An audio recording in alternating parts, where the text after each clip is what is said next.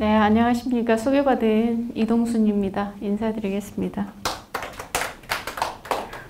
네, 방금 말씀드린 대로, 어, 쭉 통사적으로 쭉 훑어가면서 우리 지역의 작가들은 어떤 작가들이 있는지, 그리고 또 의미 있는 매체들, 이때 매체라고 하는 것은 잡지, 문해지, 뭐 이런 것을 말씀드리는 겁니다. 그래서 어, 큰 기대는 하시지 말고 어, 작은 기대감으로 편하게 이 시간을 함께 해 주셨으면 좋겠습니다.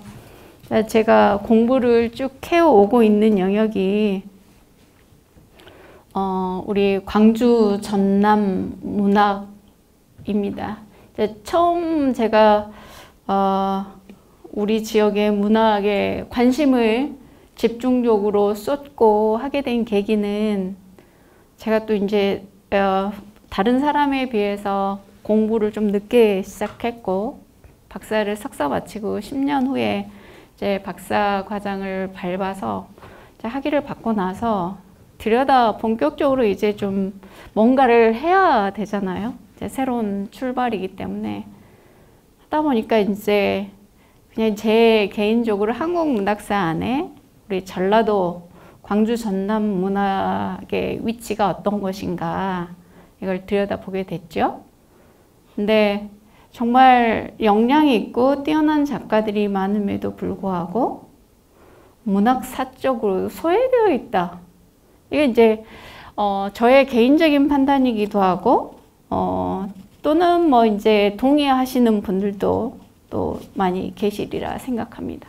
그 이유는 여러 가지 측면에서 찾아질 겁니다. 문학 권력, 문학 계보, 역학 구도 안에 들어가지 못하면 자연스럽게 특히 서울대를 중심으로 한 어, 문학 연구자들의 어떤 문학사 정리 이제 이런 측면이 좀 많이 한쪽에서는 작용을 하고 있는 것 같고 또 한쪽으로는 이제 정치적인 상황하고도 좀 맞물려 있지 않나 이런 생각이 듭니다. 실례로 어, 1960년 이후 로는 우리 전라도 출신의 작가들이 서울에서 활동을 해도 지우기를 하거든요. 나 전라도 출신 아니야. 네. 그리고 본적을 옮기고 이런 흔적들을 보면서 그리고 이제 큰 맥 안에서 경상도 작가들하고 전라도 작가들이 어, 서로 특히 이제 경상도 작가들이 전라도 작가를 폄하하는 일들이 또 발생해요. 이건 이제 신문 지상에 다 공개되고 막 이제 오르락 내리락 했던 건데 여기에 대해서 전라도 작가들이 또 모여서 이거는 있을 수 없는 일이야. 이제 소송을 불사하겠다. 뭐 이런 일들이 또 일어나기도 해요. 그러니까 이제 그러다 보니까 자연스럽게 제가 아, 본격적으로 들여다 봐야겠다 이런 생각을 하게 됐고 네, 결정적으로 어, 조금 뒤에 있다가 말씀드리겠지만 박흡이라는 시인을 만나면서 광주 시사에 보면 박흡이라는 사람이 김현승하고 많은 작가들을 후진 양성을 했다라고 하는 요 한 문장 때문에 이 사람이 누구지? 도대체? 아무리 뒤져도 없는 거예요. 시집 한 것도 없고. 그래서 제 눈에 보이는 대로 작품을 한번 모아봤죠. 근데 보니까 작품집을 안 남기고 돌아가신 분이었어요. 그래서 이제 결국에는 제가 전집을 내게 되었는데 그게 어떻게 보면 어, 본격적인 출발을 제가 어, 우리 지역 문학에 하게 된 어떤 결정적인 계기 같은 것으로 작용했는데요. 그러니까 어, 이런 것들을 들여다보면서 이제 약간의 저속한 표현일지 모르지만 쌍끌이 저인 방식으로. 그러니까 근데 이후에 우리 전라도 문학을 그냥 전라도 우리 지역의 이름만 어디에 뜨면 그냥 모아보기 시작한 거예요 제가 다. 지금도 그 작업을 계속 하고 있는 중이고요. 그 다음에 누구도 언급되어 대, 언급하지 않고 단 한 번도 어, 문학사 안에 이름이 올리지 않았던 사람들을 제가 일일이 찾아서 작업을 해서 일정 정도 지금 성과라면 그런데요. 그런 것들을 하고 있는 상황입니다. 그 과정에 있는 것들을 오늘 그 과정에서 제가 수습하고 나름대로 정리하고 한 것들을 오늘 말씀을 드려볼까 해요. 근데 오늘 이제 여기에서는 어, 아까 말씀드렸던 것처럼 통사적으로 누가 요 시대에 이런 활동을 했다 정도로 해서 100장을 넘겨야 되니까 부지런히 한번.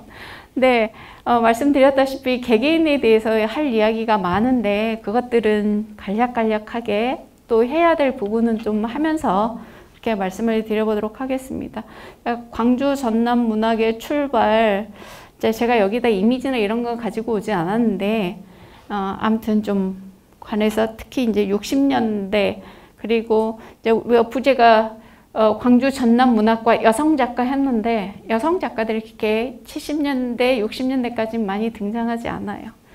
그 맥락들을 좀 말씀을 드려보도록 하겠습니다.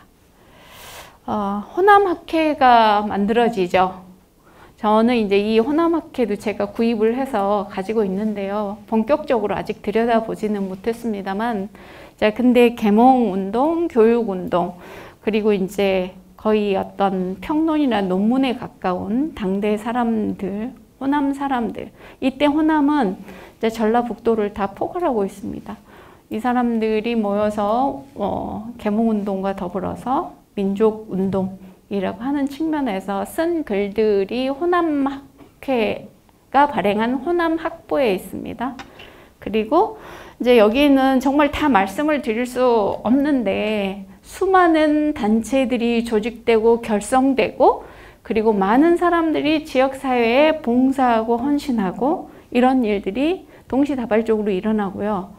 광주뿐만 아니라 목포 그리고 영광 크게 보면 점을 찍자면 그런 것 같습니다. 광주, 목포, 영광이 어, 거점 역할을 많이 했어요. 영광은 물산이 풍부하고 원래 세곡창에 있었던 곳이었기 때문에 영광은 당시 보도를 보면 호남의 이상향이라고 동아일보에 기록이 있거든요. 호남의 이상향.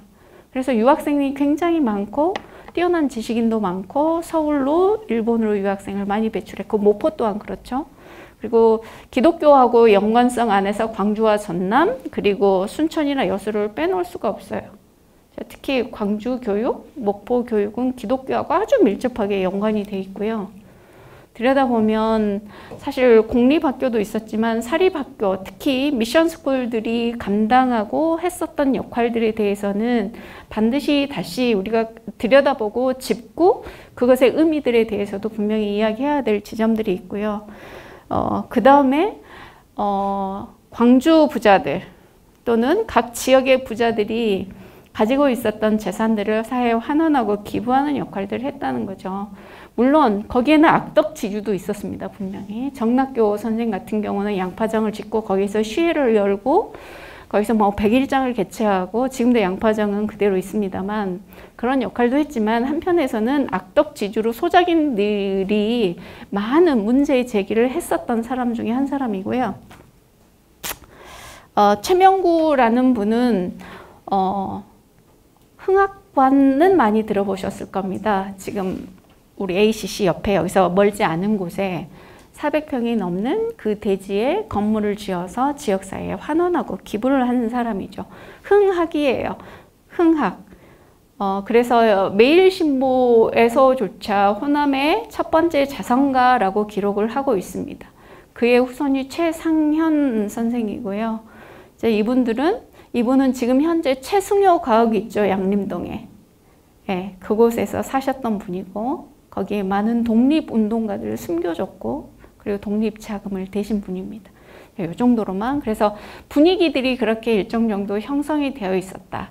그리고 여기에서 지흥, 지응현 선생은 누구냐면 이분에 대해서도 사실 많이 들여다 봐야 되고 제가 일부 확인한 것들도 많이 있고 한데 이 지응현 선생은 오지호, 화가 오지호의 장인어른입니다. 장인어른이시고 또 이뿐만 아니라 정말 어, 기, 다시 환원하는 중요한 역할들을 굉장히 많이 하셨어요. 지금 우리 여기 살레시오 여고 여중고 거기 원래 농장이었고 이걸 기부한 것으로 그리고 지금 카톨 예전에 광주 카톨릭 대학 고 일대에 학교를 건립해서 다 무료 교육을 했어요. 기숙사 무료, 학용품 무료, 그러니까 농업 교육, 그러니까 이제 농사를 짓는 제대로 농사를 짓는 일꾼을 길러내자. 그래서 병천사가 지금 서구 저쪽에 가면 있습니다.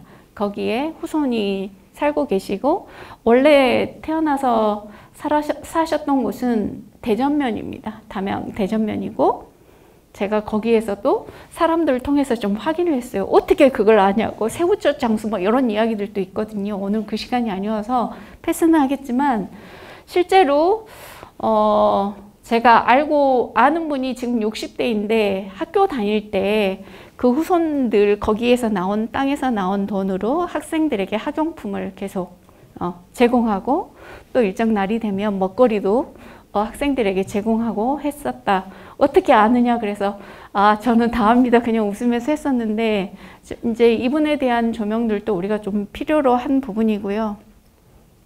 기부 어, 지역사회 함께 더불어 살고자 했었던 모습들이 여러 곳에 남아 있습니다. 또 반면에 말씀드렸던 것처럼 이제 시간이 흘러가면서 어, 지역사회 유지였던 분들이 이제 친일 행적으로 가담하게 되는 어, 이 흐름의 과정 안에 있게 되죠. 대강의 초기의 분위기를 이렇게 말씀드리고요. 이제 본격적으로 문학인과 관련한 이야기들을 좀 말씀드려 보겠습니다. 이분은 최원순입니다. 최원순. 일본 와세다 대학 정경학부를 졸업하신 분인데 지금 서석초등학교 사회 졸업생이고요. 이거 학적부나 이런 걸 다 통해서 확인된 바입니다. 네, 이분을 가장 먼저 어, 우리 광주에서 불러낸 이유는 우리가 한 광주 정신이라는 이름을 가지고 광주 올 이후에 이야기를 하는데요. 그걸 거슬러 올라가 보면 찾을 수 있는 것들이 무엇일까? 방금 말씀드렸던 이런 단체와 사람들, 지역사회에 환원하고 더불어 함께 하고자 했었던 사람들이 있었는데 이제 그것을 구체적으로 삶으로 좀 보여준 사람에서 좀 찾아보면 이분으로부터 우리가 좀 어떤 정신적인 걸 찾을 수 있지 않을까. 자, 어, 이분은 작년에 2020년 3월 1일자로 독립지사로 공헌을 받으신 분입니다. 제가 다 밝혀 적었기 때문에 이건 제가 자랑스럽게 말씀을 드릴 수 있을 것 같아요.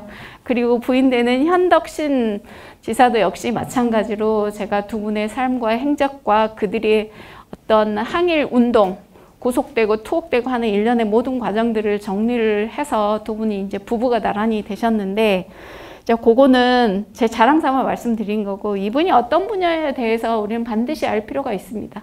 28 독립운동을 이야기할 때 아무도 최원순을 언급하지 않아요. 이분으로부터 출발했다. 그렇게 알고 계시면 되겠습니다. 하숙을 하고 있었던 어, 정, 정광, 광호 선생하고 둘이서 파리 강화회가 열리고 특히 이제 일본에 유학하고 있었던 학생들이었기 때문에 영자 신문을 보고 세계 이제 이 지형이 어떻게 돌아가고 있는지 정세가 어떻게 돌아가고 있는지 다 알고 있었죠.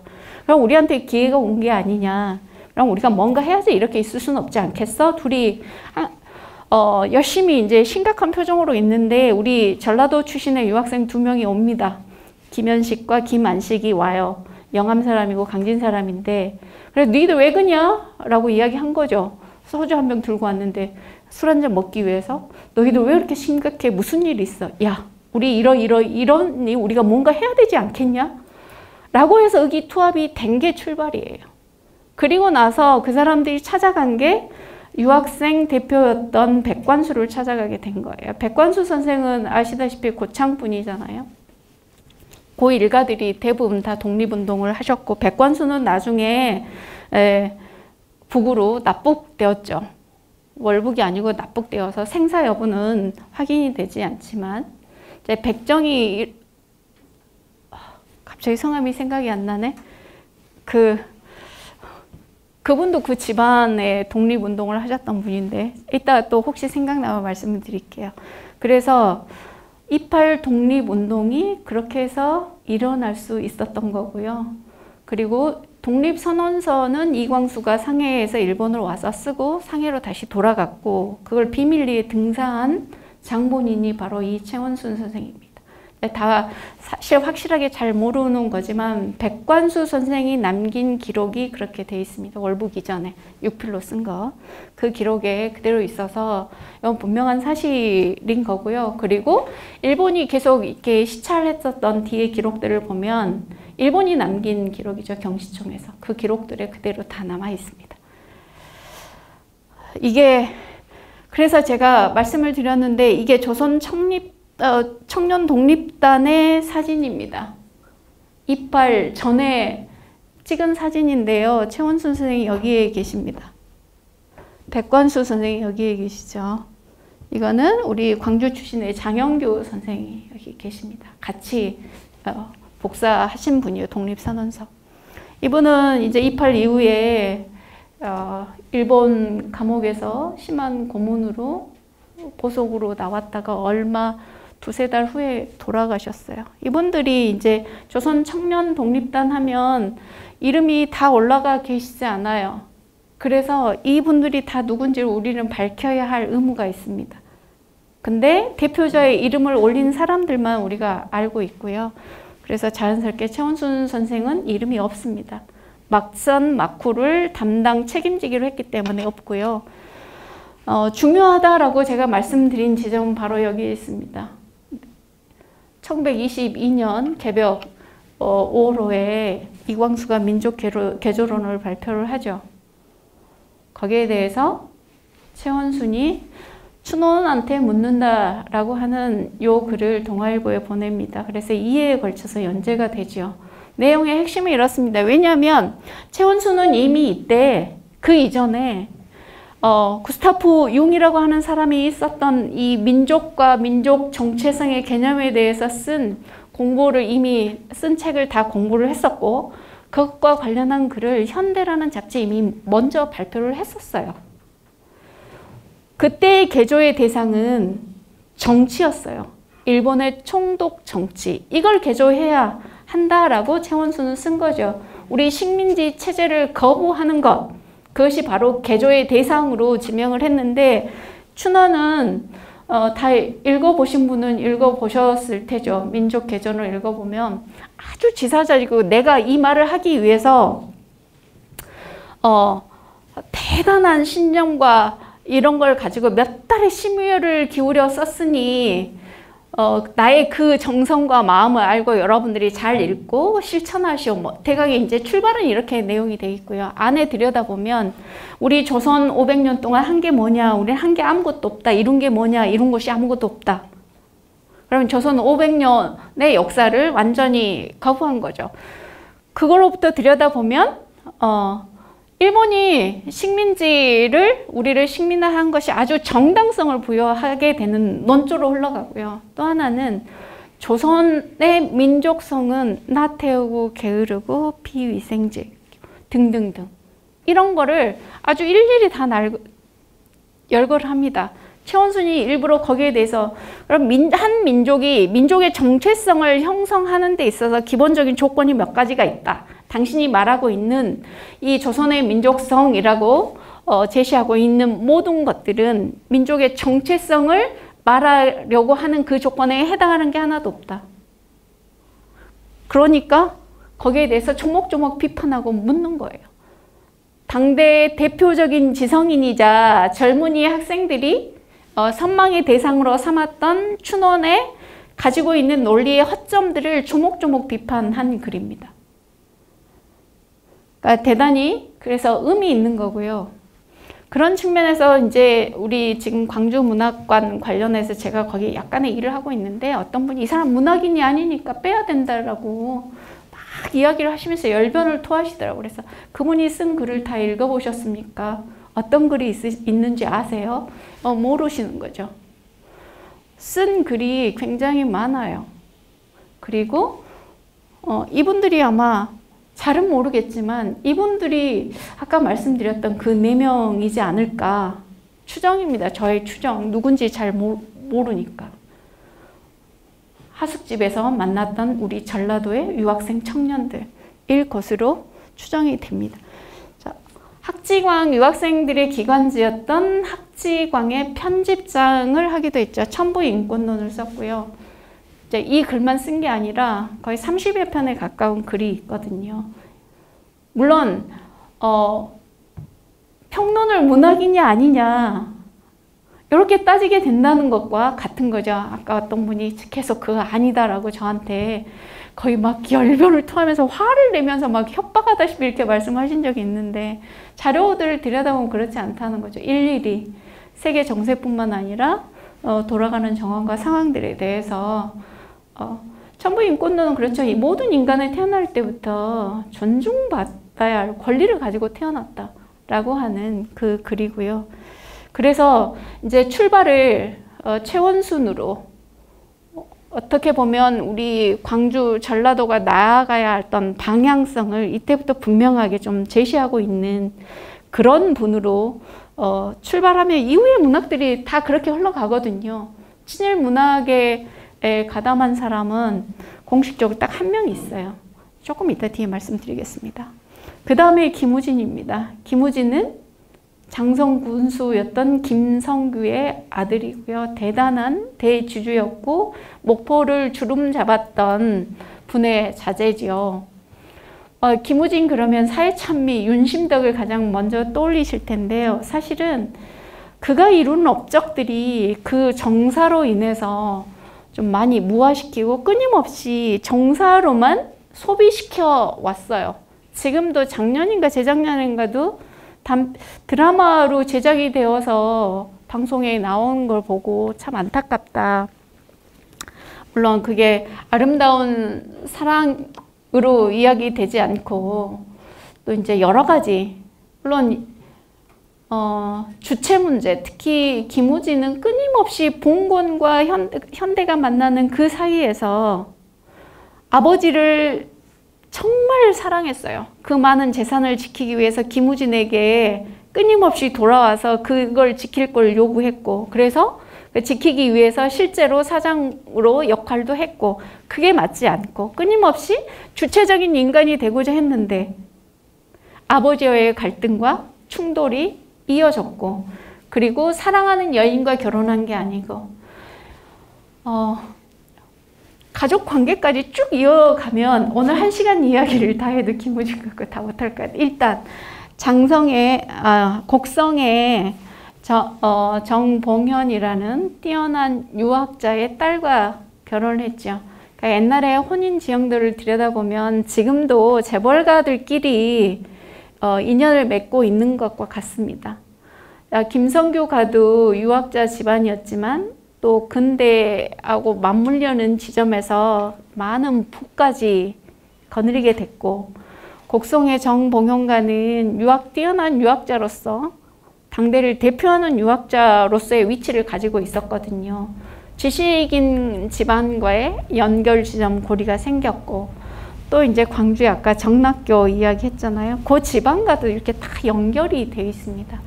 그러니까 어, 어떻게 보면 어, 뛰어난 지식인가 거기에 지주 그리고 어떤 자본을 가지고 있는 근대 초기에 우리 초기에 에, 이런 것들이 이미 이제 만들어 그 이전에는 뭐 조선 시대에도 마찬가지였죠. 뭐 유학자들 지방 간에 뭐, 뭐 이런 것들처럼 그래서 좀 안타까운데요. 그런 측면으로만 어, 너무 소비를 해서 원래 가지고 있었던 김우진의 내면의 고민이라든지 끊임없이 주체적인 인간으로 살고자 했었던 아버지의 종속된 김우진이 아니라 주체인 나 김우진으로 살고자 했었던 몸부림들이 일기 기록에 그대로 다 남아있어요. 그리고 초기 특히 1919년 요때는 일본에서 유학 중일 때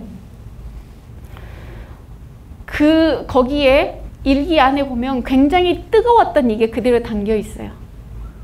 어, 우리가 독립이 되기 위해서 우리들이 같이 움직여야 되고 행동해야 되고 그런 마음들이 일기에 그대로 다 담겨 있거든요. 내 아버지는 너는 그러면 안 돼. 너는 문학을 공부해서도 안 되고 너는 돌아와서 가업을 이어야 되고 집안을 일으켜 집안이 이룬 전통을 그대로 유지해야 되고 그러니까 끊임없는 갈등 때문에 결국에는 어, 윤신덕과 함께 삶을 마무리하는 것으로 그러니까 반대로 또 한편으로 보면 부인을 굉장히 힘들고 고통스럽게 한 남자죠. 그리고 내 자식들 잘 부탁한다. 라는 요소를 남겼으니까. 자, 그런데 중요한 건 극예술 협회를 만들어서 전국 순회 공연을 해요. 앞에 최원순을 다 시간 때문에 말씀을 못 드렸지만 최원순 선생은 3년 동안 여름 방학을 맞이해서 전국 순회 강연단으로 강연을 하러 다니거든요. 그 강연의 순서는 이렇습니다.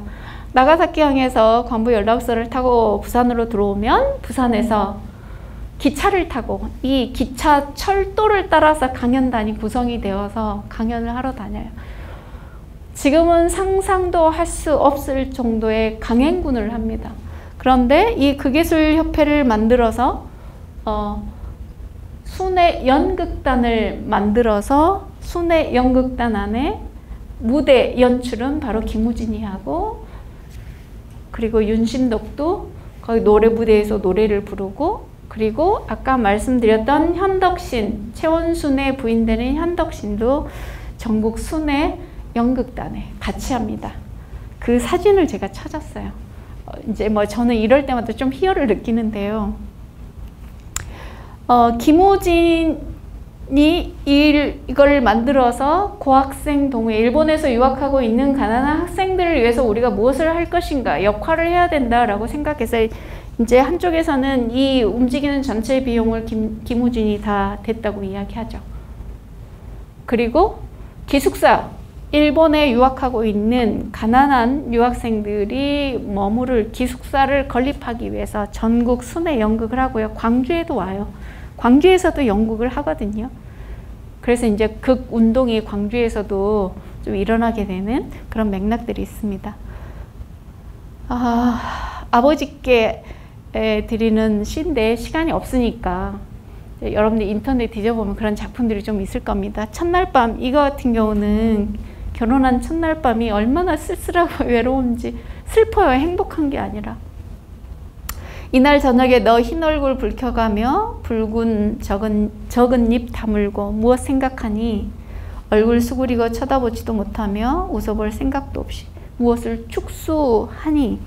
이날 저녁 이 자리 위에 같이 누워 너와 나 같은 술 한 마음으로 천년 만년 축소하나? 너와 나의 생각하는 것 같지 않다. 너와 나 아마 지난날 꿈속에서 서로 만났을 터 그러니까 첫날 밤에 행복하지 않은 거죠. 네 생각 따로, 내 생각 따로. 그래서 이제 그 삶이 그렇게 비운으로 끝나게 됐는데요. 네. 매일신보 26년 8월 5일자에 보면 이제 대대적으로 이들의 죽음을 계속 당시의 여성 잡지를 비롯해서 삼천리 계속 회자하면서 이걸 소비를 하죠. 딱 여기 시선을 여기에 고착화 시켜놓고 그리고 어, 이 사람들이 죽을 일이 없다. 그 다음에 또 그 사람들은 죽었다라고 이야기만 하고 실제로 어디에 오스트리아에 거기에 있, 는 사람 있다는 것을 누가 봤다는 설이 있다. 그러니까 김호진의 동생인 김철진이 그거를 경찰에 조사 요청도 해요. 실제로. 뭐 김철진은 제가 여기 안에 담지는 않았지만 간단하게 말씀드리면 사회주의자였고요. 김우진의 동생이요. 사회주의였고 그리고 의열단 활동을 했고 그리고 해외에서 검거돼서 국내로 압송되어 들어왔고 근데 1940년대 에 목포 부의 부의원으로 또 전회를 하게 되는데 35년에 목포 평론을 발행하게 됩니다. 목포 평론에 지역에 많은 이 목포 평론, 평론 안에 담겨 있는 대부분의 글들이 분명합니다. 굉장히 어, 사회주의자적인 시선, 계급 차별의 문제, 노동자의 문제, 그리고 지역의 문제, 그리고 거기에 참여하고 있는 필진들이 어, 제가 다 정리는 끝내지 않은 상태인데 변호사를 비롯해서 지역의 유지, 기업인, 뭐 어, 판사 이런 사람들도 있고요. 근데 흘러가는 논조는 대부분 다 아, 이를테면 가난한 민중들을 대변하고 우리가 어떻게 해야 될 것인지 흐름이 전체적으로 그렇습니다. 근데 어, 거기에 대한 정리 김철진에 대한 정리는 아직 아무것도 돼 있지 않죠. 어, 굉장히 큰 저는 어, 의미를 부여하면서 봐야 될 것이라고 생각하고 있습니다. 그 다음에 이제 다시 광주로 오면 광주의 첫 번째 시인을 우리가 박영철로 많이 알고 계시거나 김현승으로 알고 계신데 바로 김태호고요. 바로 여기 흥학관 ACC 근처 그쪽이 집이었습니다. 금길이 124번지고요. 이분은 정말 뛰어난 분이었습니다. 정말. 광주의 그 시대에 전국을 누비면서 이런 가열찬 활동 또 한편으로 보면 이걸 투쟁이라고도 할 수 있고요. 그런 활동을 끊임없이 글을 써서 발표하고 실제 몸을 이제 전국을 누비면서 다니기도 하고 이랬었던 사람인데요. 제가 아까 말씀드렸죠. 60년대 되면 본적 지우기. 이분이 바로 그 본적 지우기를 하셨어요. 이제 기득권을 갖게 되었잖아요. 본인도 나중에. 다 말씀은 못 드리지만 어, 중요한 건 설강 동요집을 1933년에 냈어요. 설강 동요집. 이때 동요집은 문학으로서의 동요입니다. 지금 동시라고 일단 이렇게 생각하셔도 되, 겠습니다 그 다음에 이거는 시조집 초원이라는 시조집을 39년에 냈습니다. 그러면 우리가 박용철 선생이 1930년에 시문학 김영락하고 발간을 하게 됐는데요. 그보다 그럼 그 이전에 훨씬 이전에 활동한 뭐가 있어야 되겠죠. 제가 중요하다라고 말씀을 드렸으니까. 자, 동요 대표적으로 동요 강아지, 우리 집 강아지는 목술 강아지 학교 갔다 돌아오면 네, 멍멍멍. 네. 봄맞이 노래. 동무들아 오너라. 봄맞이가 아주 너도 나도 바구니 옆에 끼고서. 그게 바로 이 김태호가 쓴 거고요. 이 맥락을 오늘 다 말씀을 드리면 안 될 것 같아요. 벌써 시간이 30분이 넘어가가지고요. 앞에 몇 분 했는데, 근데 재미있으시죠? 막 이야기 들어보면. 네, 천도교가 잘 알고 계시다시피 우리가 3일 만세 운동도 천도교가 아주 지대하고 중요한 역할을 했었잖아요. 네, 어린이 문화 운동 또는 어린이 인권 운동에 있어서도 천도교가 굉장히 중요한 역할을 했습니다. 그러니까 천도교에서 개벽사를 세워서 잡지 개벽이 나오고 그리고 잡지 어린이가 나오게 돼요. 천도교 청년의 활동을 방정환이 하고 그 청년의 산하에 이 소년회가 조직이 되고 이 소년회들이 전국 단위로 소년회가 만들어지게 됩니다.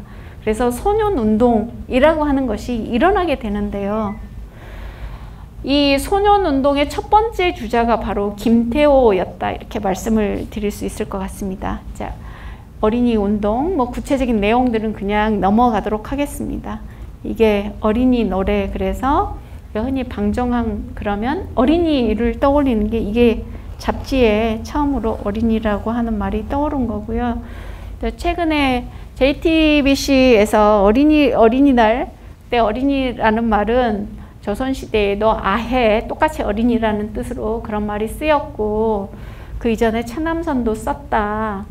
이제 그런데 본격적인 문화 운동으로서의 어떤 의미로서 어린이를 불러낸 건 이거다. 근데 이건 개벽 1920년 8월호에 실린 거고요. 제가 여기는 제가 어디서 가져온 게 아니고 제가 가지고 있는 자료들 다 스캔해서 올려드린 겁니다. 일본 유학 중에 색동회를 조직했고요. 지금도 색동회는 그대로 있습니다.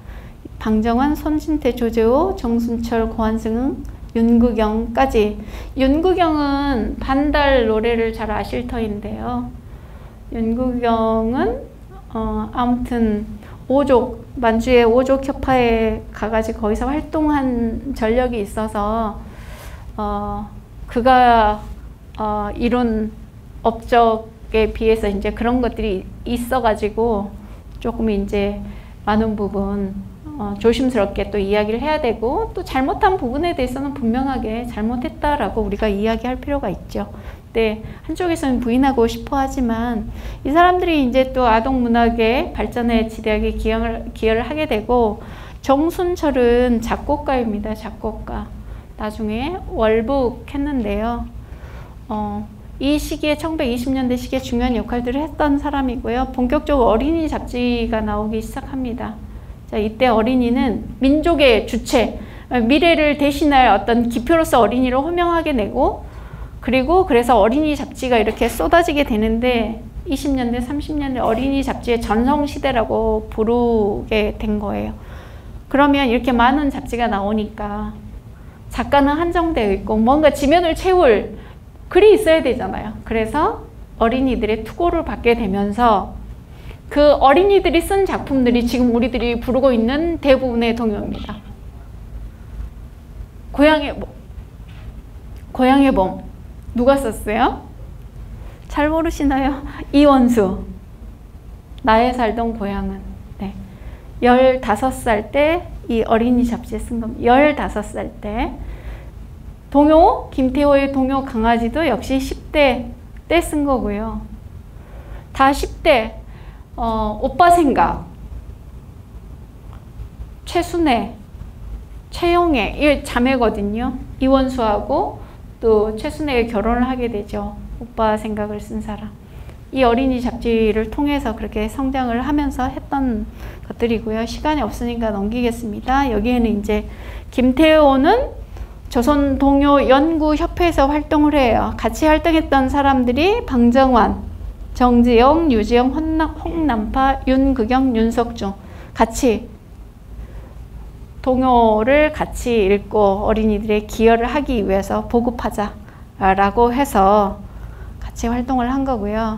양파정입니다. 아까 말씀드렸죠. 정락교의 정자 양파정. 지금도 현판이 많이 걸려 있고요. 네, 제가 가서 찍은 사진이에요. 직접 가봤어요. 거기서 올려다가 내려다본 광주천이 너무 아름다웠다. 지금은 이제 아름답지 않죠. 직강화 공사가 다 끝나버리고 옛날 모습이 없으니까. 그리고 물도 그때처럼 맑고 많지도 않지만 어, 직접 가봤습니다. 이곳에서 김태호가 1919년 여름 광주의 소년 동무들과 함께 전국 소년 운동의 출발을 알리는 고고의 성을 올렸다. 기록이 있습니다. 그런데 이제 소년 운동사에서는 진주하고 안변을 이야기하고 있는데 광주가 그 출발이다. 알고 계시면 틀림없는 사실이니까요. 그 이야기입니다. 방금 제가 말씀드렸었던 소년운동이 뭐냐. 소년들의 어떤 인권운동이면서 동시에 지역사회 봉사운동이었고 그것이 나중에는 이들이 자연스럽게 성장하면서 민족운동으로 항일운동으로 발전해 나가게 되는데 실제로 김태호는 이것으로 투옥이 되어서 감옥에 또 형기를 살게 되고요. 그래서 국립묘지에 지금 계십니다.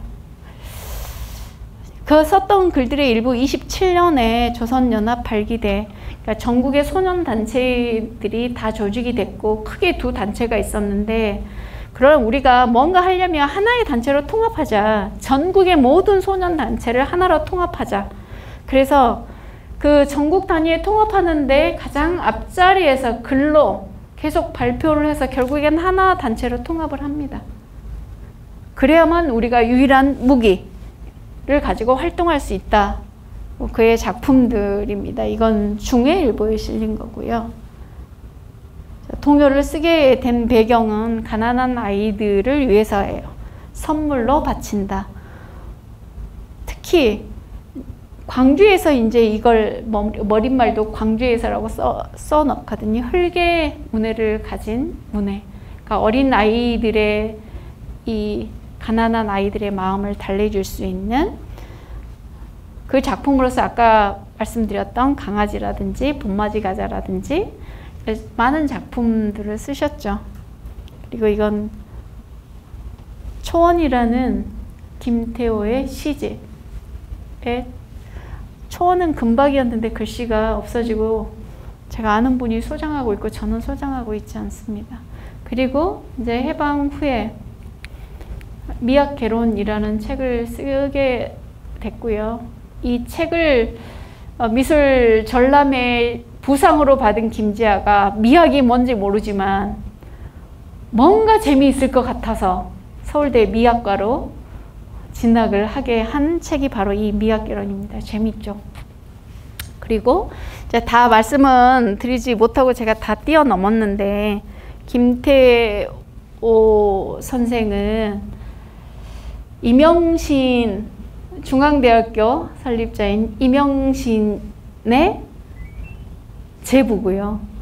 이명신의 여동생하고 결혼을 하게 됐는데 광주에 있을 때 결혼을 해요. 이명신이 어, 변하기 전에 해절하기 전에 민족운동을 하다가 투옥이 됐고 나와서 기독교 거기도 다 이제 지금의 전주 거기에 기전학교 출신들이고 해서 그다 이제 이런 관계들 안에서 결혼을 한 것 같습니다. 이명신의 여동생도 제가 어, 확인을 해보니까 몇 편의 이런 아동문학 작품을 썼어요. 그러니까 이제 그런 걸 통해서 만난 것 같고 그 다음에 이제 시인 조은입니다. 시인 조은 영광의 민족운동의 지도자로서 그리고 많은 단체를 조직하고 헌신 봉사했었던 사람이죠. 그리고 한글 운동을 전개했고 또 시조 모임을 만들고 야학을 열고 이런 다양한 활동들을 했었던 작가인데 월 어, 분단 이전에 북으로 갔으니까 월북이라고 말하는 것보다 제북으로 정리하는 게 더 맞지 않을까 이렇게 생각이 되는데요. 21년에 불살러 주호를 첫 작품으로서 문학 작품으로서는 처음 발표합니다. 그리고 그 이후에 조선문단을 비롯해서 어, 동아일보나 많은 잡지에 시조를 발표하는데 어, 우리가 시조 문학 그 문학사에서 보면 시조 부흥 운동이라고 하는 게 전개되죠. 그 1세대는 그 앞에 활동했었던 김억이라든지 이런 사람들, 최남선이라든지 이제 바로 그것을 이어가고 있는 사람 중에 조은 그리고 가람 이병기 그리고 이은상 이렇게 이어집니다.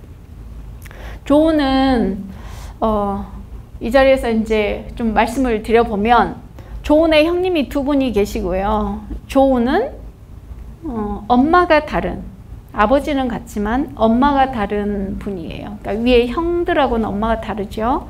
근데 이 형들과 조은은 항상 같이 움직였습니다. 서울에서 3일 만세 운동, 광주의 김복현이라는 분과 서울에서 3일 만세 운동을 하고 영광으로 내려와서 영광에서 또 만세 운동을 이분들이 다 주도를 해요. 그리고 두 분은 투옥이 되고 조은은 도망 다니죠. 그리고 중국으로 망명하려다가 1차에 자, 그게 안 돼서 다시 돌아왔다가 2차에 망명을 해서 거기서도 이제 해외에서 독립운동을 하다가 최서혜를 만나게 돼요. 탈출기라는 소설을 기억하시죠? 아주 복수의 극단, 광기 어린 작품들, 가난한 사람들의 처참하고 비참한 삶을 어, 그보다 더 어떻게 잘 쓸 수 있을까 싶은 최서혜를 중국의 망명 중에 만납니다. 최서혜는 최서의 아버지도 그렇고 의열단 활동을 한 것으로 보입니다. 본인이 쓴 글에 보면 땡땡 이렇게 해가지고 최서혜 선생이 쓴 건데 최서혜는 다음에 조은의 여동생과 결혼을 합니다. 그래서 매제가 되는 거고요. 조은의 형님 두 분이 있다고 말씀드렸죠. 이분들은 다 독립유공자가 되었고 조은은 1939년에 또 투옥이 되었었는데 1년이 넘게 투옥 생활을 하죠. 근데 이제 공훈 자체가 안 되죠. 북으로 갔기 때문에. 어, 분단 이전에 갔으니까 이것도 우리가 좀 정리를 할 필요가 있는데요. 북쪽에서는 김일성을 찬양한 작품을 분명히 썼어요. 제가 몇 작품 확인했는데 적극적인 어떤 거 쓴 게 아니라 뭐 이제 여러 가지 유적들을 보고 뭐 시상의 전개나 이런 것들은 남쪽에서 활동할 때가 똑같은데 이 지점에서 제가 하나 아, 잘 모르시는 이야기를 좀 해드리면 문학과는 상관없지만 우리 정치사하고 상관이 있어서 조은의 바로 위에 형님이 조철현입니다. 그분한테는 아들이 한 분 있죠. 세브란스 의전을 나왔는데 그분한테는 또 따님이 세분 있었습니다. 그 딸 중에 한 분이 이승만의 며느리입니다. 이승만 전 대통령의 며느리. 어, 너무 재미 어, 제가 그 사실을 추적한 다음에 너무 재밌었습니다. 그래서 조, 완전히 이분들은 영광하고 단절한 상태로 지내거든요. 제가 좋은 전집을 낸 이후로 처음으로 조영복 전 국방장관도 여기 다 영광의 조시들이며 그분들이 처음으로 다 찾아가서 만났는데 시간이 1960년에 그대로 머물러 있더라. 이렇게 저한테 말씀을 하시더라고요. 저는 안 데리고 가시던데요. 아무튼 그런 그래서 이 냉전의 어, 그 이데올로기로 인해서 형제들 간에 어, 숨기고 싶은 존재가 되었고 말하고 싶지 않은 존재가 되었고 그걸 숨기기 위해서 더 많은 그 반공 이데올로기 혹시 생산한 거 아닌가 이런 의구심마저 들게 하지요. 어, 형제들끼리는 그렇게 치열하게 대일 항쟁을 에, 의기투합해서 했었음에도 불구하고 그렇습니다. 47년에 북쪽으로 가기 전에 좋은 시조집을 남겼습니다. 대표적으로 그를 대표하는 작품이 바로 이 성류인데요. 투박한 나의 입술 두툼한 나, 어, 투박한 나의 얼굴 두툼한 나의 입술 아라리 붉은 뜻을 내가 왜 이릴까 보소라 니마 보소라 빠개졌지 니 가슴 어, 제가 더 뭐라고 형용 어, 하지 않아도 그 마음이 어떤 마음인지 알 수 있을 것 같습니다. 최서희하고 같이 찍은 사진이 왼쪽에 조은이고요. 앉아있는 분이 최서희입니다. 최서희는 어, 위장병으로 일찍 떠났고요. 최서의 여동생 조분녀도 어, 최서혜가 죽고 3년 뒤에 또 죽었습니다. 그리고 이 두 분한테는 아들 두 분이 있었는데 외가라고 해방 후에 찾아왔었는데 한 분은 거기서 영광에서 돌아가시고 한 분은 적응하지 못하고 떠나셨는데 이제 어떻게 됐는지 모른다. 아마 돌아가셨을 거다. 후손이 다 끊긴 상태가 된 거죠. 왼편은 좋은 시조집 어, 월북 전에 이거는 북에 가서 낸 거예요. 근데 연변에서 그대로 복각한 거거든요. 이것만 바뀐 거고요. 조선 구전 민요 선집 좋은 선생은 시조를 창작했던 사람이, 사람이기도 했고 우리의 이런 민요를 채집하고 이런 거에 관심이 많았어요. 특히 가람 이병기 선생 이전에 혼자서 신재호가를 찾아가서 거기에 있는 어, 자료들을 다 갖다 보고 했었던 분이거든요. 그리고 돌려주고 나중에 가람 이병기하고 같이 가서 보고 서로 가람 이병기하고 이 서로 어, 조선시대부터 쓰여졌던 책들을 청구 영원이나 가곡 올리는 이런 것들을 서로 바꿔가면서 읽기도 하고요. 어, 이 작품들이 여기 제가 정리를 해서 나온 거고요. 그 다음에 이제 조은하고 연관되어 있는 그리고 한국 전쟁 이전까지 우리 광주 전남 문학에서 유일한 여성 작가 박화성 선생입니다. 박화성. 조은하고 연관이 있죠. 박화성 선생이 광주에 1922년에 광주의 서북 야학원이라는 곳에서 잠깐 교사로 있다가 영광중학원의 교사로 가게 됐고 거기에서 조은을 만나게 됐죠. 뭐 이제 공식적인 자리니까 제가 필요 없는 말은 하지는 않겠지만 거기에서 자유예원이라는 어, 이제 등사 잡지를 만들게 됐고 그 등사 잡지에 실린 작품들을 대상으로 해서 매주 서, 좋은 작품을 선발하는 학생이랑 선생이 같이 참여해서 그래서 좋은 작품을 이제 벽에 이렇게 쭉 붙여놓는 그 중에 이제 아 당신은 문학적인 재능이 있으니 소설을 써보시오 라고 한 사람이 조은이었고 그래서 내 말을 듣고 쓴 습작을 갖다 주니까 이 작품이 좋다. 이광수한테 조, 좋은 선생이 보내게 되죠. 그래서 이광수가 보고 어, 싫게 된 게 바로 이 작품입니다. 추석 전야라고 하는 작품. 예, 이게 다 어, 연관맥이 있고 이 조선 문단에 아까 최서혜가 어, 편집을 책임지고 있었습니다. 그 다음에 아까 김우진 제가 다른 이야기 하다가 말씀을 못 드렸는데 이광수 이야기가 나왔으니까 이광수류의 문학을 매장하라 라는 글을 김우진이 썼어요. 중요해요. 아까 최원순하고 김우진은 그래서 어, 이광수의 어떤 보이지 않는 겉으로 드러나지 않았던 어, 내면의 갈등 혹은 늘 계몽주의 작품을 썼잖아요. 이광수가 지금 때가 어느 때인데 그런 작품을 쓰냐는 거죠. 이광수의 문학을 매장하라 라는 평론이 제목이에요. 김우진의 글.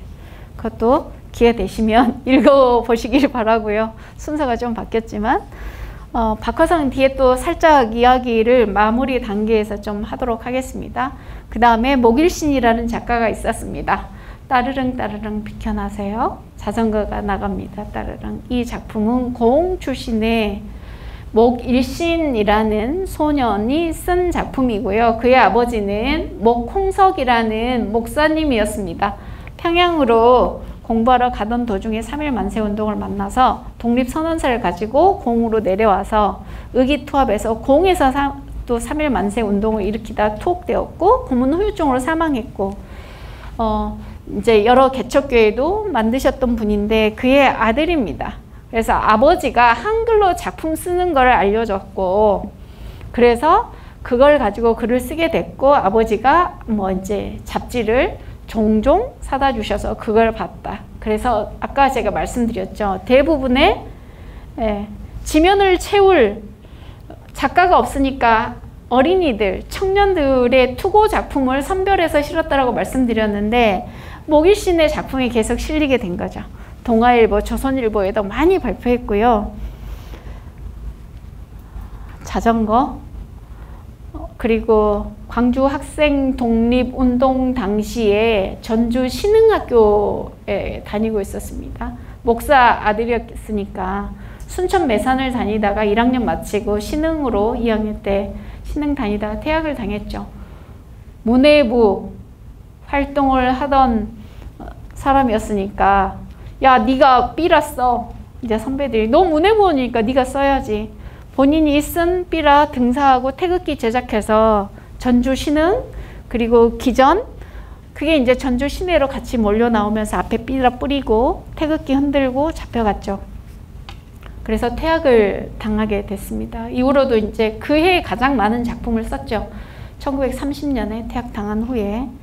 그래서 이제 아까 제가 말씀드렸죠. 서두에 이렇게 우리 지역에 작가들이 있는데 누가 누군지 몰라. 김태호가 누군지 몰라. 목일신이 누군지 몰라. 그래서 제가 작품을 다 수습해서 정리를 다 했어요. 전집으로 역시 나왔고요. 이분 누구 안 닮았습니까? 네, 조정래 선생의 아버님, 아, 잘 아시는 분, 네. 조정래 선생의 아버님이십니다. 네. 어, 이분의 작품도 제가 전부 다 수습해서 전집으로 두 권을 냈어요. 이번에 어, 출발, 공에서 신식 공부 시켜준다고 하니까 서남사 찾아간 거예요. 맨날 지게지고 일하다가 나 공부하고 싶다. 우리 집 가난한데 학교를 못 보내주니까 서남사를 찾아갔는데 1년 내내 불모가님을 시키는 거예요. 그래서 다시 집으로 가니까 스님들이 거놈 쓸만했는데 왜 갔냐 가서 데리고 와라 해서 출가해서 스님이 됐고 이제 문제, 문제는 저는 늘 그 출발이 어딜까, 한 작가의 문학적인 출발이 어디 있을까를 늘 많이, 굉장히 관심을 많이 갖는데, 방금 전에 모기신도 아버지가 목사였고, 독립운동을 주도해서 투옥되었고, 고문 후유증으로 나와서 얼마 안 있다 돌아가셨다라고 말씀을 드렸죠. 조정래의 문학의 출발은 바로 여기 조정현에 있습니다. 대중불교를 주장하거든요. 민중불교를 주장했거든요. 그리고 또 하나는 이제 우리가 이렇게 어, 대처승이라고 이야기하지만 대처승은 일제 때 일, 일본이 불교 사찰령을 발동을 해서 전국에 있는 절들이 이제 이를테면 일본식의 유신을 요구한 거죠. 그러니까 기독교도 나중에 친일로 다 돌아서고 그랬던 것처럼 종단들을 다 종교의 종단들을 장악해야 식민 통치를 하기 편하잖아요. 그런 측면에서 어, 대청승들이 생겼다라고 이야기하는데 만해 한용운하고 조정현은 저는 그렇게 보지 않아요. 만해 한용운 선생하고 조정현 선생은 대중불교를 끊임없이 주장하거든요. 민중과 더불어 함께 종교가 있어야 된다. 불교 또한 그래야 된다. 그러려면 대중들과 더불어 함께 있으려면 산속이 아니라 어디에 있어야 돼요? 속가에 있어야 되죠. 저는 그렇게 봅니다. 이분을 그렇게 봐요. 아주 어린 나이에 또 이제 결혼해가지고 그 결혼 사진도 있는데 만당이라고 하는 비밀 결사체에 만에 한용운 선생과 같이 활동을 하고요. 불교 청년 동맹 그리고 불교 학인 대회 이것들을 조종현이 주도해요. 그리고 작품도 이, 이 시기의 작품들도 다 가난한 아이들이 많이 집중이 돼요. 가난한 사람들의 집중이 많이 되고. 그리고 이제 어, 해방이 된 후에 서남사의 주지가 되거든요. 기록이 있어요. 그리고 앞에 어, 해방이 되었을 때는 대부분 다 우리가 이제 해방의 기쁨과 더불어서 다 함께 우리 잘 살자 라고 하는 분위기가 실제로 70% 이상이 우리 국민의 70% 이상이 사회주의자 사회주의 운동에 찬동했다라고 역사학자들이 이야기를 하고 있거든요. 팽배했죠. 그런 분위기가 우리가 함께 살자.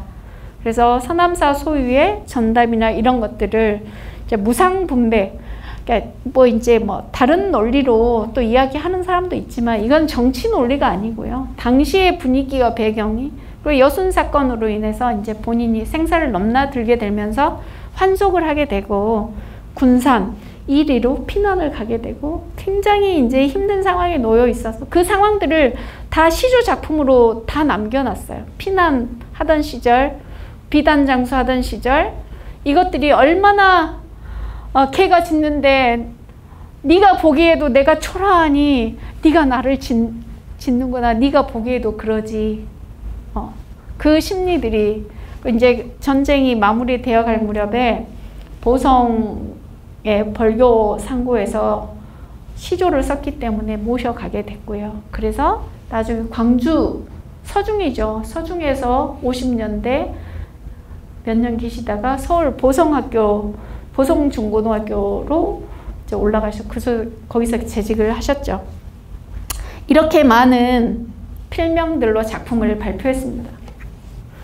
그러니까 이 필명으로 발표한 이유는 신분을 속이기 위한 것과 또 하나는 한 지면에 서로 다른 이름을 써야 여러 편이 실리게 되는 만해 한용운 선생의 마지막 시신 수습을 하신 분이에요.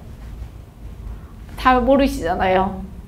몰래 비밀리에 올라가서 사리를 수습하고 했던 분이 조정현 선생이다라고 하는 걸 기억하시면 아까 제가 조정래 이야기 말씀드렸죠. 조정래 문학의 출발이 여기 있다.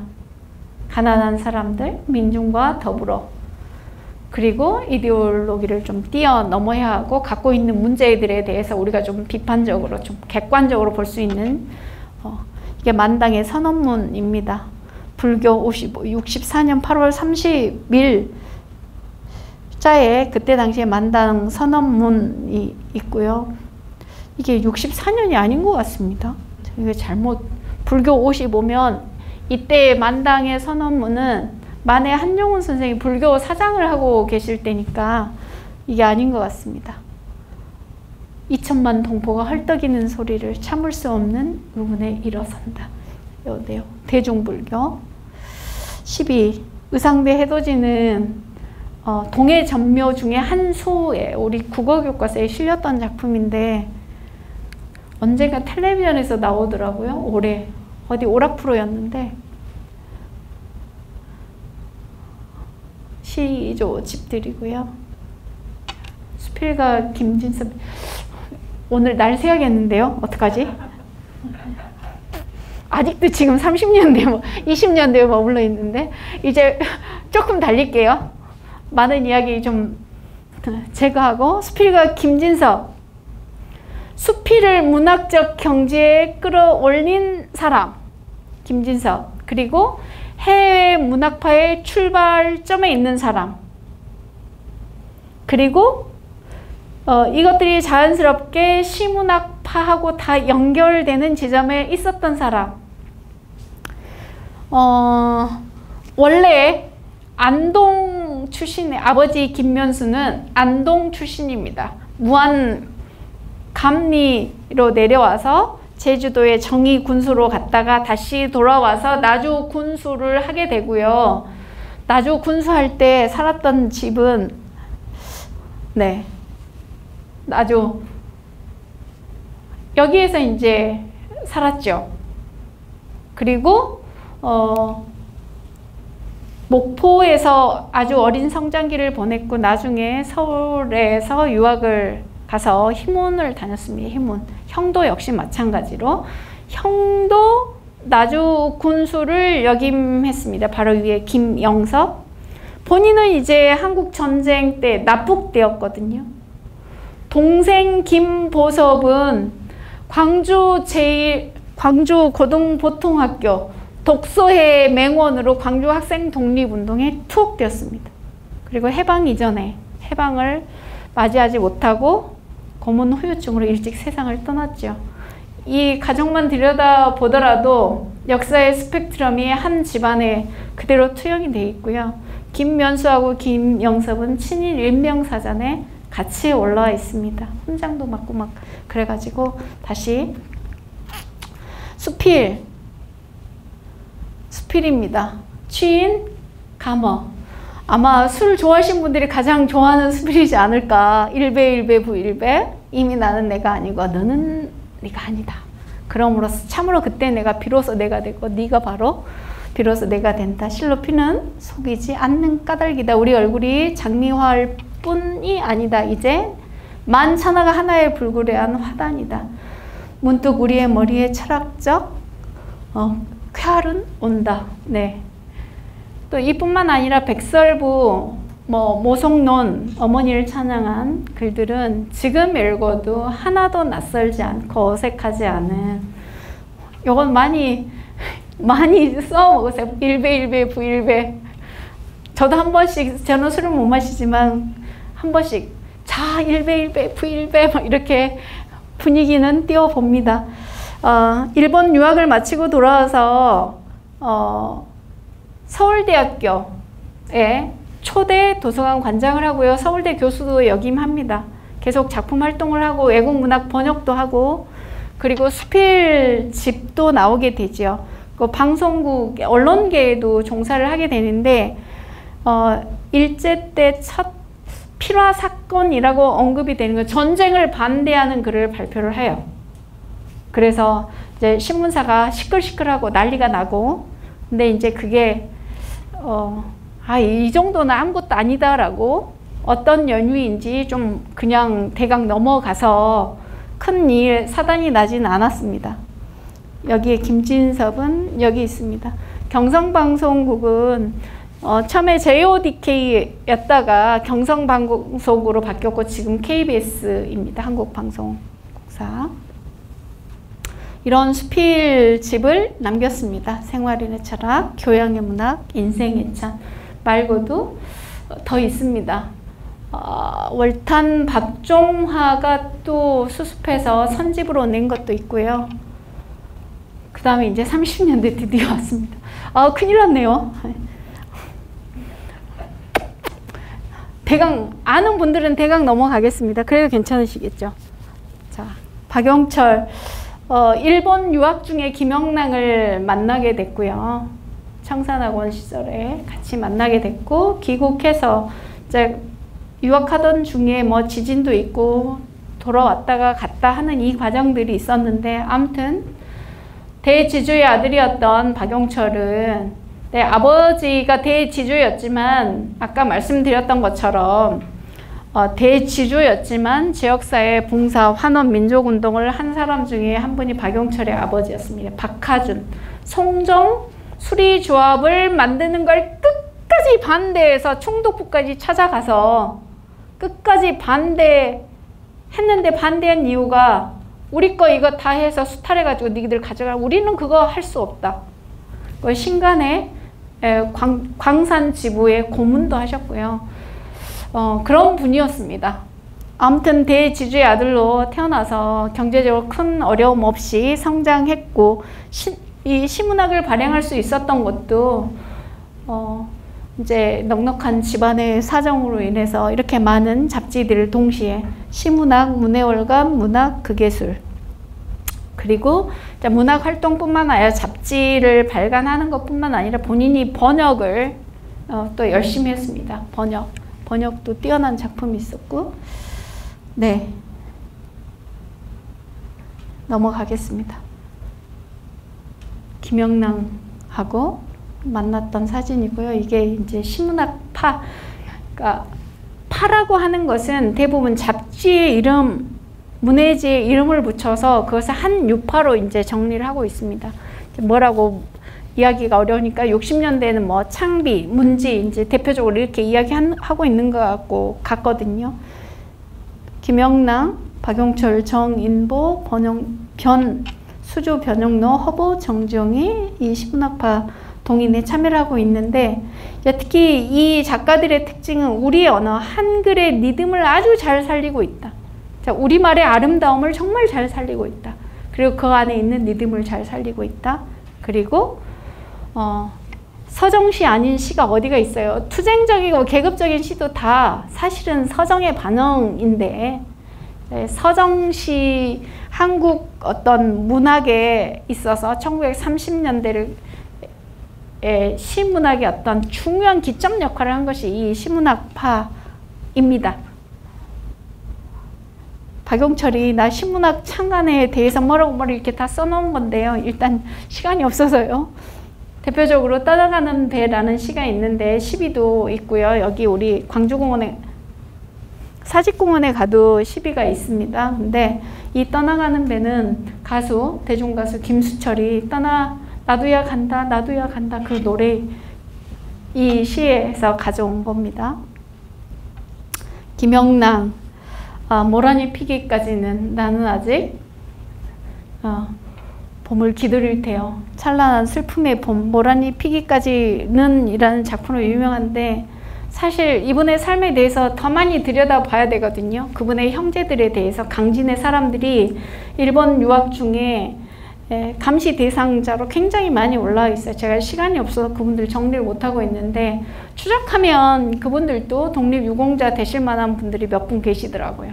계시는데 아무튼 어, 최승희하고 어, 사귀었고요. 최승희하고 결혼을 하고 싶어 했는데 집안의 반대로 결혼을 또 못한 이런 스토리도 있고 그 뭐, 김영랑은 제가 굳이 더 많이 말씀을 드리지 않아도 독립선언서를 가지고 내려오다가 신발에 투옥이 되었고 그래서 그걸로 이제 독립유공자가 되셨죠.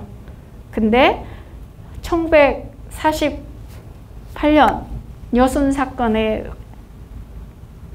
네 직접 현장 시찰단으로 내려와서 쓴 작품들이 있습니다.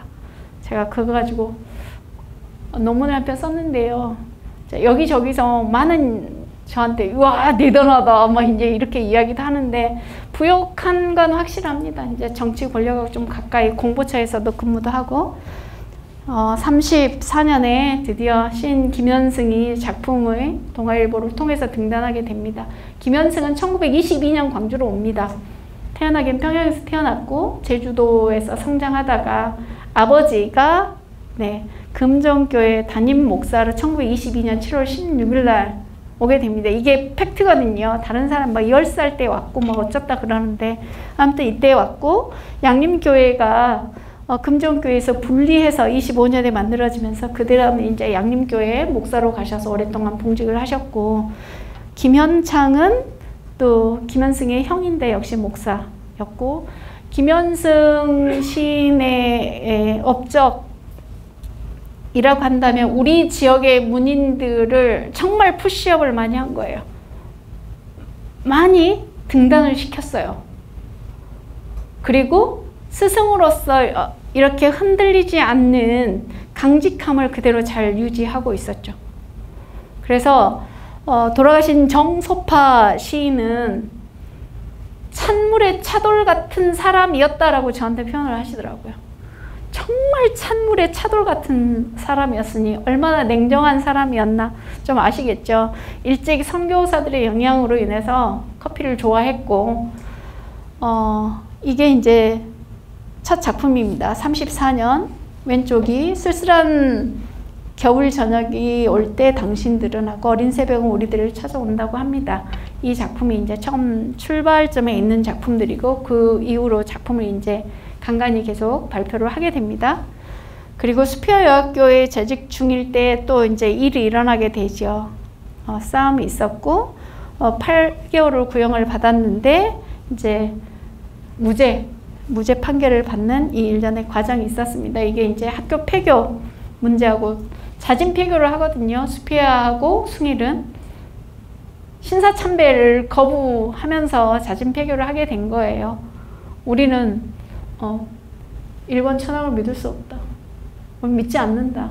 하늘 아래 신이 어찌 둘이랴 유일신을 주장했기 때문에 네, 장명섭의 딸 장은순하고 혼인합니다. 수피아학교 피아노 선생이었고요. 어린 시절 이거는 아마도 조선대 어디 꼭대기쯤 아닌가 아니면 양파정 언저리 어디서 찍은 사진인가 어, 싶습니다. 광주 시내가 내려다 보이는 거고 이분은 광주를 사랑했던 시인입니다. 쓴 작품을 보면 K시에 바치는 노래, 나의 고향, 내가 사랑하는 고향, 뭐 이제 이것으로 광주와 관련해서 쓴 산문들도 있고요. 이 눈물이라는 시는 어린 아들을 잃고 나서 쓴 시고요. 제가 이 가을의 기도는 어렸을 때 좋아했었던 시 중에 하나입니다. 가을에는 기도하기 이제 이렇게 양림동의 어떤 까마귀가 많았던 양림동의 배경 그리고 플라타너스가 많았던 조선대학교 이런 것들이 이제 작품에 좀 많이 등장하고요. 30년대 이런 사람들이 한희직은 한경직 목사의 형, 형, 형, 동생? 아무튼 한의원, 화가 한의원의 아버지입니다. 희곡, 희곡 작품이 한 작품 있고요. 서두성 선생은 이제 신문 언론사에 계셨던 분인데 그 이전에는 영화 관련한 일제 때 일을 하셨고 또 유학생들이 일본에서 자리 잡고 일을 할 수 있도록 많이 도와주셨고 배우들도 도와준 그런 기록들이 있습니다. 네, 넘어가겠습니다. 자, 여상현이 등장합니다. 시인부락은 우리 국어 교과서에 등장하는데요. 시인부락 하면 대표적으로 서정주를 이야기할 수 있습니다. 고창 고등부등학교 출신들이고요. 이분은 화순 분입니다. 화순. 어, 전라도를 사랑했던 사람, 그리고 어, 특별히 어떤 성향을 막 겉으로 드러내진 않았지만 강직한 흐름을 가, 몸, 몸 안에 가지고 있었던 정신을 가지고 있었던 사람이었던 것으로 보이고요. 이제 납북되었습니다. 이제 언론인으로 계실 때 납북이 되었는데 그것을 이제 어, 동면의 면장 아들이었는데 집안이 완전히 풍지박산된 거죠. 한국 전쟁 때 납북인데 월북했다라고 해서 모든 집안 사람들이 다 거기를 떠나 버리게 됐죠. 근데 분하르도 운동에도 열심히 참여를 했고 또 어떤 그 대장 역할로서 온주사를 그때 당시에 쓴 글들도 있습니다. 그러니까 지역 사회를 좀 많이 들여다보고 있고 대표적으로 영산강이라는 시를 들여다보면 앞뒤 다 빼고요. 진달래 뿌리를 스쳐 가난한 마슬에 토장을 들어 열두 골 살살이 모여든 영산강 오백리 서러운 이거 보면 다 끝납니다. 어, 근데 우리들 기억 속에는 다 잊혀져 있죠. 전집을 제가 작업을 하려고 작품은 다 수습을 해놨는데, 이제 뭐, 잘, 아직은 거기에 미치지 못하고 있습니다. 봄이 오면. 그래서 이 영산강 줄기줄기를 따라 살았던 사람들의 삶을 이렇게 시로 형상화하고 있습니다. 신 이막수라는 사람이 있습니다. 아주 대단한 뛰어난 어, 사람이었는데요. 그한테는 너무 큰 오점이 또 있게 되면서 그를 호명하는 것을 두려워하고 있지요. 순천에서 태어났고요. 지금 경기고등학교죠. 경성제일고보 그리고 경성제대 지금 서울대학교 영문학부를 졸업한 영문학자이죠. 그리고 시를 썼고 평론을 했고 번역을 했고 이제 이런 측면에서 보면 대단한 사람이었습니다. 작품도 그냥 한두 작품이 아니고 시집 시도 좋고 납북되었고요. 이제 북쪽에서도 작품 활동을 했습니다. 아, 쓸모 쓸 너는 써야겠다 데려다 써야겠다라고 해서 데리고 갔겠죠. 자, 성류라는 시집이 37년에 팔도 풍물 시집이 38년에 후조 전선 시집이 39년에 나왔는데요. 이게 이제 이를테면 지역에서도 그리고 어떤 우리 문학사 안에서도 그의 업적에 너무 큰 오점이어서 들여다보겠습니다. 이게 이제 문인을 대표하는 시찰단원 중에 세 사람 중에 한 사람으로 뽑혀서 이제 구체적으로 더 들여다볼게요. 문단의 부대를 만들어서 80명이 이제 누구 보내자라고 해서 결정이 돼요.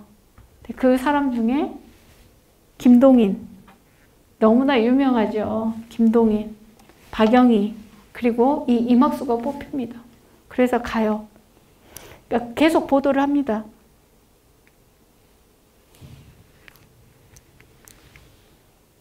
네. 자, 펜 부대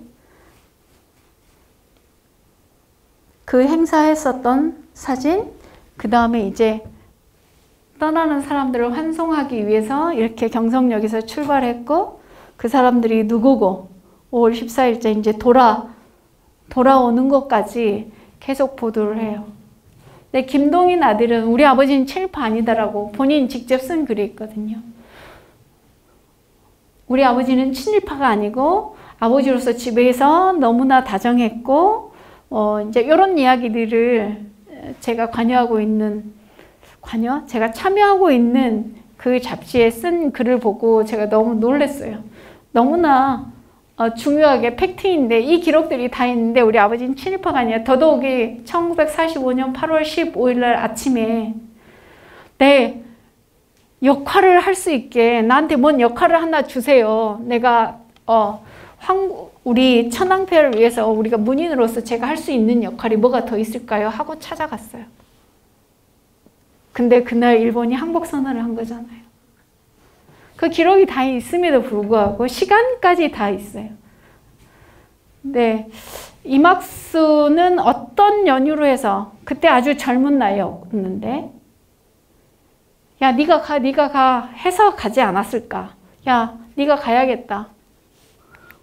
그냥 대표로 너 갔다 와. 그 이제 보낸 것이 갔다 와서 작품으로 뭔가 글로 지금 전쟁 중인 그것을 찬양하고 미화하는 그런 작품을 쓰는 게 조건이었어요. 갔다 오면 이제 감사히 이 열심히 써가지고 어, 보답하겠다라고 하는 내용이 들어있어요.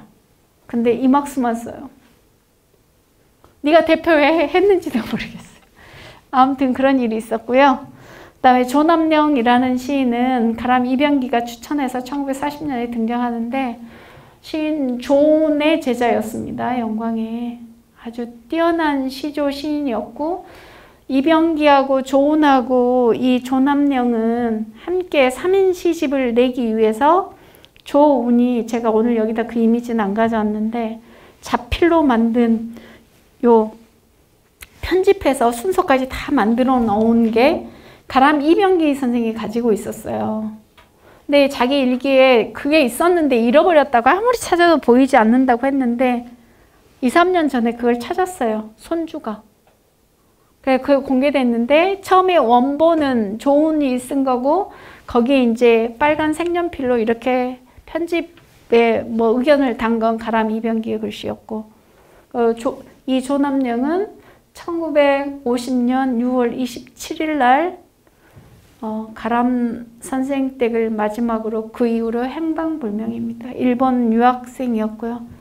목상을 나왔고 영문과 재학 중이었고 이 형제들이 다 대단히 천재적이었습니다. 여동생들도 이화학당 영문학부를 다녔고 실제로 신문에 이제 작품 쓴 것도 있고 이 집안은 완전히 몰락했습니다. 한국 전쟁 만나면서 한 명도 남지 않고 다 사라졌습니다.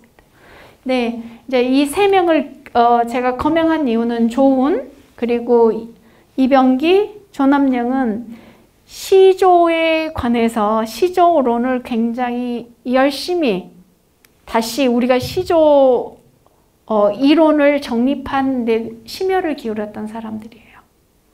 그래서 이 시조 문학을 이야기할 때 세 사람을 빼놓고는 이 시대를 이야기할 수 없는 네, 창 이 작품은 조은이 감옥에 있었을 때 조은 선생의 그걸 쓴 작품입니다.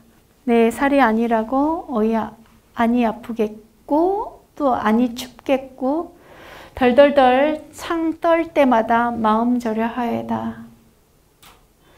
이렇게 스승에 대한 아픈 마음을 쓰고 있는 작품이고요. 이분은 정태병이라는 우리 지역의 최초의 동화 작가입니다. 이거 저 칭찬해요. 제가 최초로 다 밝혀 적어, 적었어요. 이, 계속 이렇게 잡지를 일때 일제 때 잡지를 들여다보는데 영광 정태병이 보여요. 그래서 이 사람이 도대체 누굴까 계속 이렇게 추적을 했죠. 그랬더니 신춘문예를 통해서 어, 등단을 했고 작품 활동을 했고 무작정 영광을 찾아가서 사람들을 만났어요. 저는 영광에 아무 연구가 없는데 사람을 만나다가 정말 소름 돋게도 딸을 만났어요. 근데 정태병이 한국 전쟁이 났을 때 바깥 사정이 어떤지 보고 올게 하고 나갔다가 영영 이별이 된 거예요. 그때 딸이 7살, 6살 큰 딸이 둘째 딸 한 명 더 있고 아주 어린 아들 셋이 아빠를 기다려도 안 오니까 서울에서 영광까지 고향으로 다시 두 달에 걸쳐서 걸어왔대요. 이렇게 영 이별이 된 거예요. 저 이제 만나서 제가 작품 이렇게 하고 막 만날 때마다 우시는 거예요. 근데 돌아가셨어요. 그분도. 그래도 어, 나름 조금 위안은 제가 해드렸다고 생각해요. 그분의 이것들을 다 제가 찾아서 이제 전집 나온 뒤에 돌아가셨거든요. 그래서 좀 한은 풀고 가지 않아, 않으셨을까 이렇게 생각하는데 중요한 역할들을 많이 하셨더라고요. 특히 해방기 작가 동맹이 결성되어서 활동할 때 아동문과에서 활동을 했고 이 작품은 조선 동요 전집인데요. 일제하에 활동했었던 작가들의 동요를 여러 번 내려고 다 이제 작업이 맞춰 있는 상태인데 첫 번째 나오고 한국 전쟁이 터지는 바람에 그 이후의 작업은 이제 영원히 아웃이었던 거죠. 동요 전집을 냈습니다. 조선 동요 전집 그리고 번역도 했고요. 그러니까 우리 지역이 어, 이렇게 많은 사람들이 어, 잘 모르지만 문학사의 중요한 포인트마다 역할들을 어, 너무나 잘 하고 있었다라고 하는 말씀을 꼭 드리고 싶습니다. 자부심을 좀 가졌으면 그 다음에 이제 영광 출신의 또 한 분 조의관인데 이분은 이제 한국 전쟁기 50년대까지 목포의 문학에 아주 중요한 역할을 했었던 분입니다. 항도 여중 교장으로 또 수필가로 그리고 한글 학자로 아주 가난했지만 어, 목포에서의 어떤 여학생들을 기르는 여성 문해 운동 그러니까 우리가 부용산으로 잘 알고 있는 박기동 선생을 알고 계실 거예요. 그 다음에 김소월의 엄마야 누나야를 작곡했던 안성현 이 사람들을 항도 요중 교사로 다 초빙해서 교육을 어, 제대로 된 교육 을 해보자라고 해서 다 모시고 온 사람이 바로 이 항도 요중 교장이었던 조희관 선생이에요. 박기동이 쓴 글에 보면 내 인생에 가장 찬란했고 아름다웠고 내가 다시 교단에 쓴다면 그런 학교에 그 선생님하고 같이 근무하고 싶다. 부용산이라는 노래는 아, 잘 아시다니까. 네. 해방기 해방기는 45년에 목포에서 이제 하나만 말씀드리고 넘어갈게요. 예술문화동맹이 결성되어서 예술문화동맹이라는 문해지가 나와요. 이때면 이제 작가동맹 계열이라고 생각하시면 되겠어요. 이제 좌와 우로 나눴을 때 좌에 가까운 내 서울보다 먼저 잡지가 나와요. 45년 12월에 나오거든요. 박화성도 거기에 작품을 썼어요. 근데 박화성은 나중에 그 시기를 회고할 때 1982년에 글에 목포에서는 조그만 책 한 권 나오지 않았다고 쓰거든요. 당시의 검열이나 뭐 이제 방공 프레임이나 뭐 이런 것 때문에 그랬을 거로 생각하는데 매호의 작품을 썼어요. 박화성은.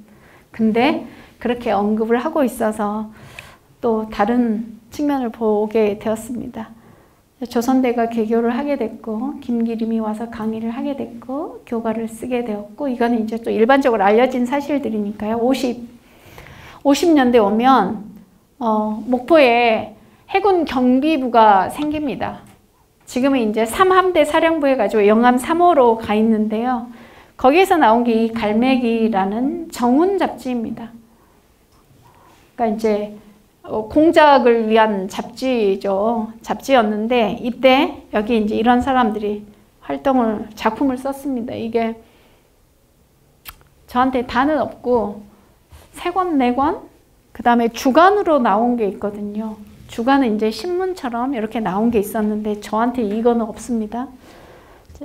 거의 필진들이 같았죠. 광주, 목포 이렇게 오가면서 시인 이동주는 어, 아주 살아남기를 잘 한 분이에요. 제가 예술 동맹 어, 목포 어, 그 이야기를 다 안 하고 넘어가려고 했는데 이동주가 나왔으니까 그때 당시에 활동했었던 사람 중에 같이 세 사람은 행방불명이 됐어요. 이동주만 살아남았고요. 이동주는 이를테면 사상 전향을 한 거예요. 문학은 도구여야 한다라고 끊임없이 주장을 했었거든요. 45년, 46년에 그 잡지에. 나의 문학은 도구다. 무엇을 위한 도구다. 분명한 그 어떤 노선, 사상적인 노선을 가지고 있었는데 전해한 거죠. 완전히. 바꿨고 혼약, 강강술래 우리가 잘 알고 있다시피 광주에서 냈어요. 광주에서 그 시집은 지금 살 수가 없습니다. 이동주, 이동주의 부인이 소설가 최민하고요. 목일신 아까 말씀드렸었던 차범석, 차범석이 이제 초기 극작가로서 막 활동을 시작할 때 이을호 선생은 아시죠? 전남대학교 철학과에 계셨고 어, 이분도 영광에서 활동을 열심히 하셨었어요. 김방한, 김방한은 김우진의 아드님, 김승한, 마찬가지 승지행, 이번에 이제 소설가였고 이수복은 서정주의 추천에 의해서 또 등단을 하게 되고 김현승, 박흡이 이제 요 시기에 광주에 와서 교수를 하게 되고 안용백은 나중에 그 어, 교육자로서 이분은 또 이제 너무 친일이 명백한 친일이 너무 많고 정소파, 손철, 임병주, 전병순, 이석봉. 이석봉은 박흡의 부인입니다. 이런 분들이 이제 여기에 작품 활동을 막 시작하게 되면서 이제 전라도 문학이 점점 이렇게 스펙트럼이 넓어지게 됩니다. 자, 요거는 이제 그야말로 광주 문학이었던 큰 변곡점 역할을 한 게 바로 신문학입니다. 신문학. 이 신문학은 박용철의 부인 임정희 그리고 현준호의 사위 백완기 어, 현준호 선생이 피난을 갈 때 마지막으로 같이 이제 그 준비를 했던 사람이 바로 사위 백왕기인데 피살 당했잖아요. 현준수는 그렇게 돌아가셨고 현정은의 지금 보면 현정은의 고모부가 되는 거죠. 처음에 어, 그 발행인이 바로 그 백왕기 선생이었습니다. 그 다음부터는 이제 임정희 여사가 자본을 대서 나오게 됐고 누구 그림 같으세요? 천경자 선생의 그림입니다. 광주에 네, 김보연 선생의 그림이고요. 51년도에 이렇게 순문예지를 표방하면서 나오게 됐고 그 다음에 52년도에 또 두 권이 더 나오게 됐습니다. 또 창경자 선생의 그림이고요. 그리고 어, 이제 이게 폐간이 되는데 나중에 김현승이 회고할 때 폐간의 이유를 우리의 작품 어, 활동이 창작 활동이 활발하지 못해서 그리고 두 번째 작품 수준이 되지 못해서 그렇게 이야기 회고를 하고 있더라고요. 돈도 돈이었지만 그게 가장 큰 문제였다. 근데 중요한 역할은 이거였습니다. 광주 문학의 교두보를 확보했다. 그리고 이것으로 인해서 작가들이 성장할 수 있는 어떤 분위기들이 만들어지게 된 거고요. 자, 이런 분들 다 정래동은 평론가고요. 이분은 이제 학자이기도 했고 노천명도 여기 참여를 했고요.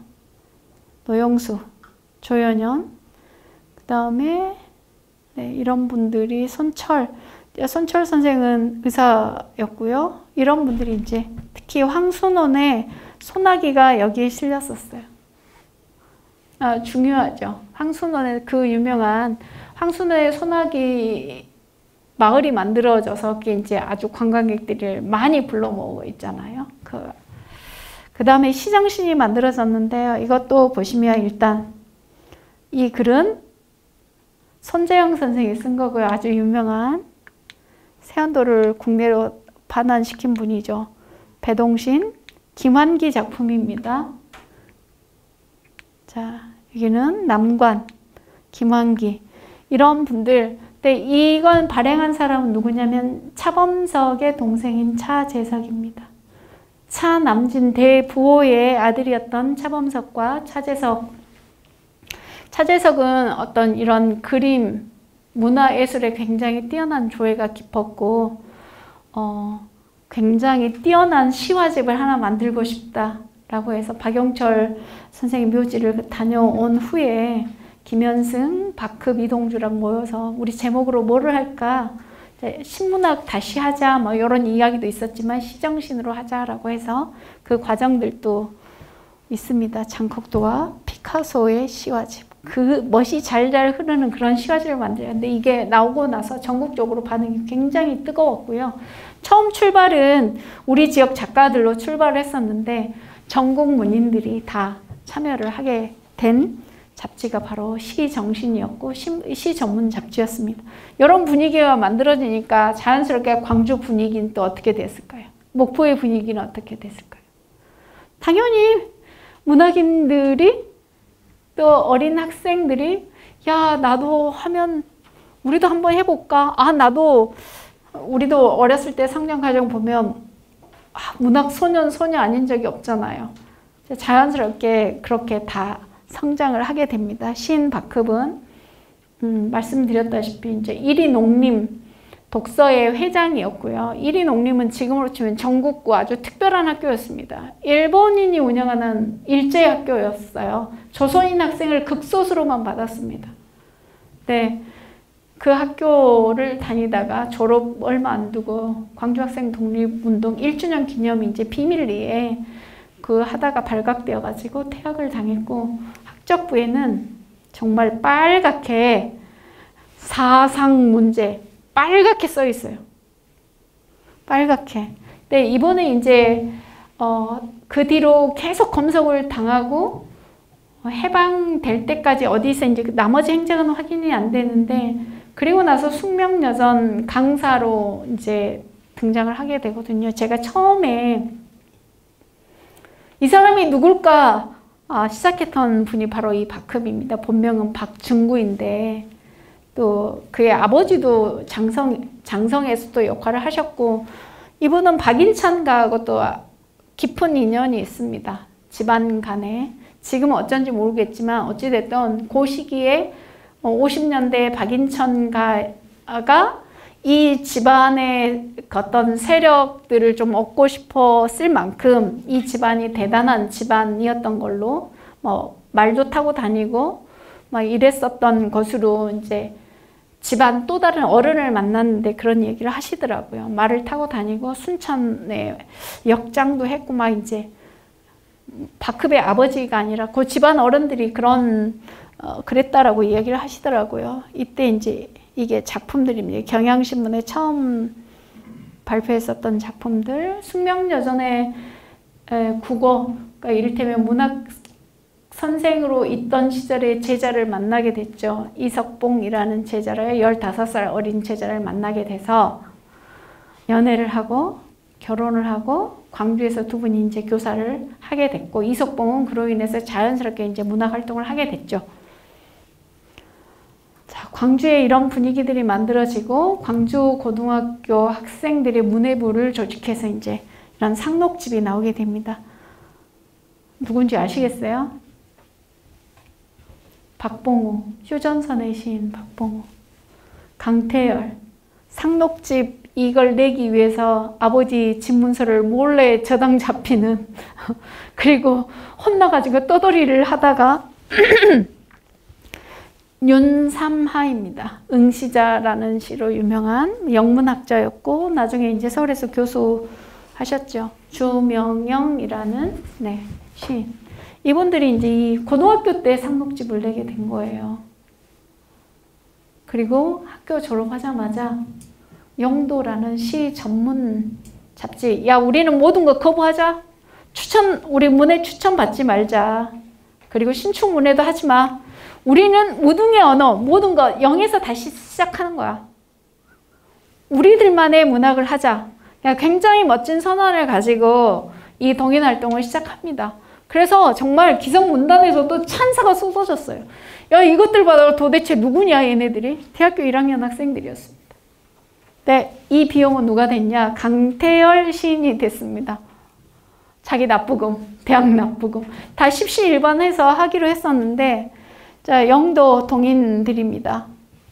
자, 아까 조은의 조카 손녀, 또 다른 조카 손녀하고 결혼한 김정욱이 있습니다.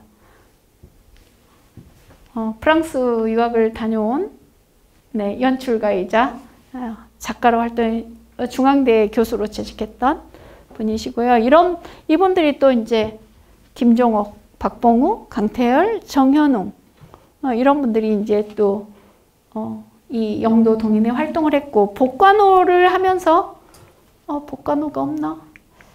복관호에는 김현도 참여를 하고요. 김현. 이 영도에 이 어령도 참여하고 싶다고 문을 두드려요. 근데 어떻게 됐을까요? 야, 우린 너 안 받아. 안 받아. 만장일치로 이제 회원을 받기로 이제 규정을 했는데, 야, 나도 거기 동인회에 들어가고 싶어 하니까. 안 돼, 너는. 자격이 안 돼. 해서 못 들어온. 대단한 자부심을 가지고 했었던 동인지죠. 이제 이분이 바로 강태열인데요.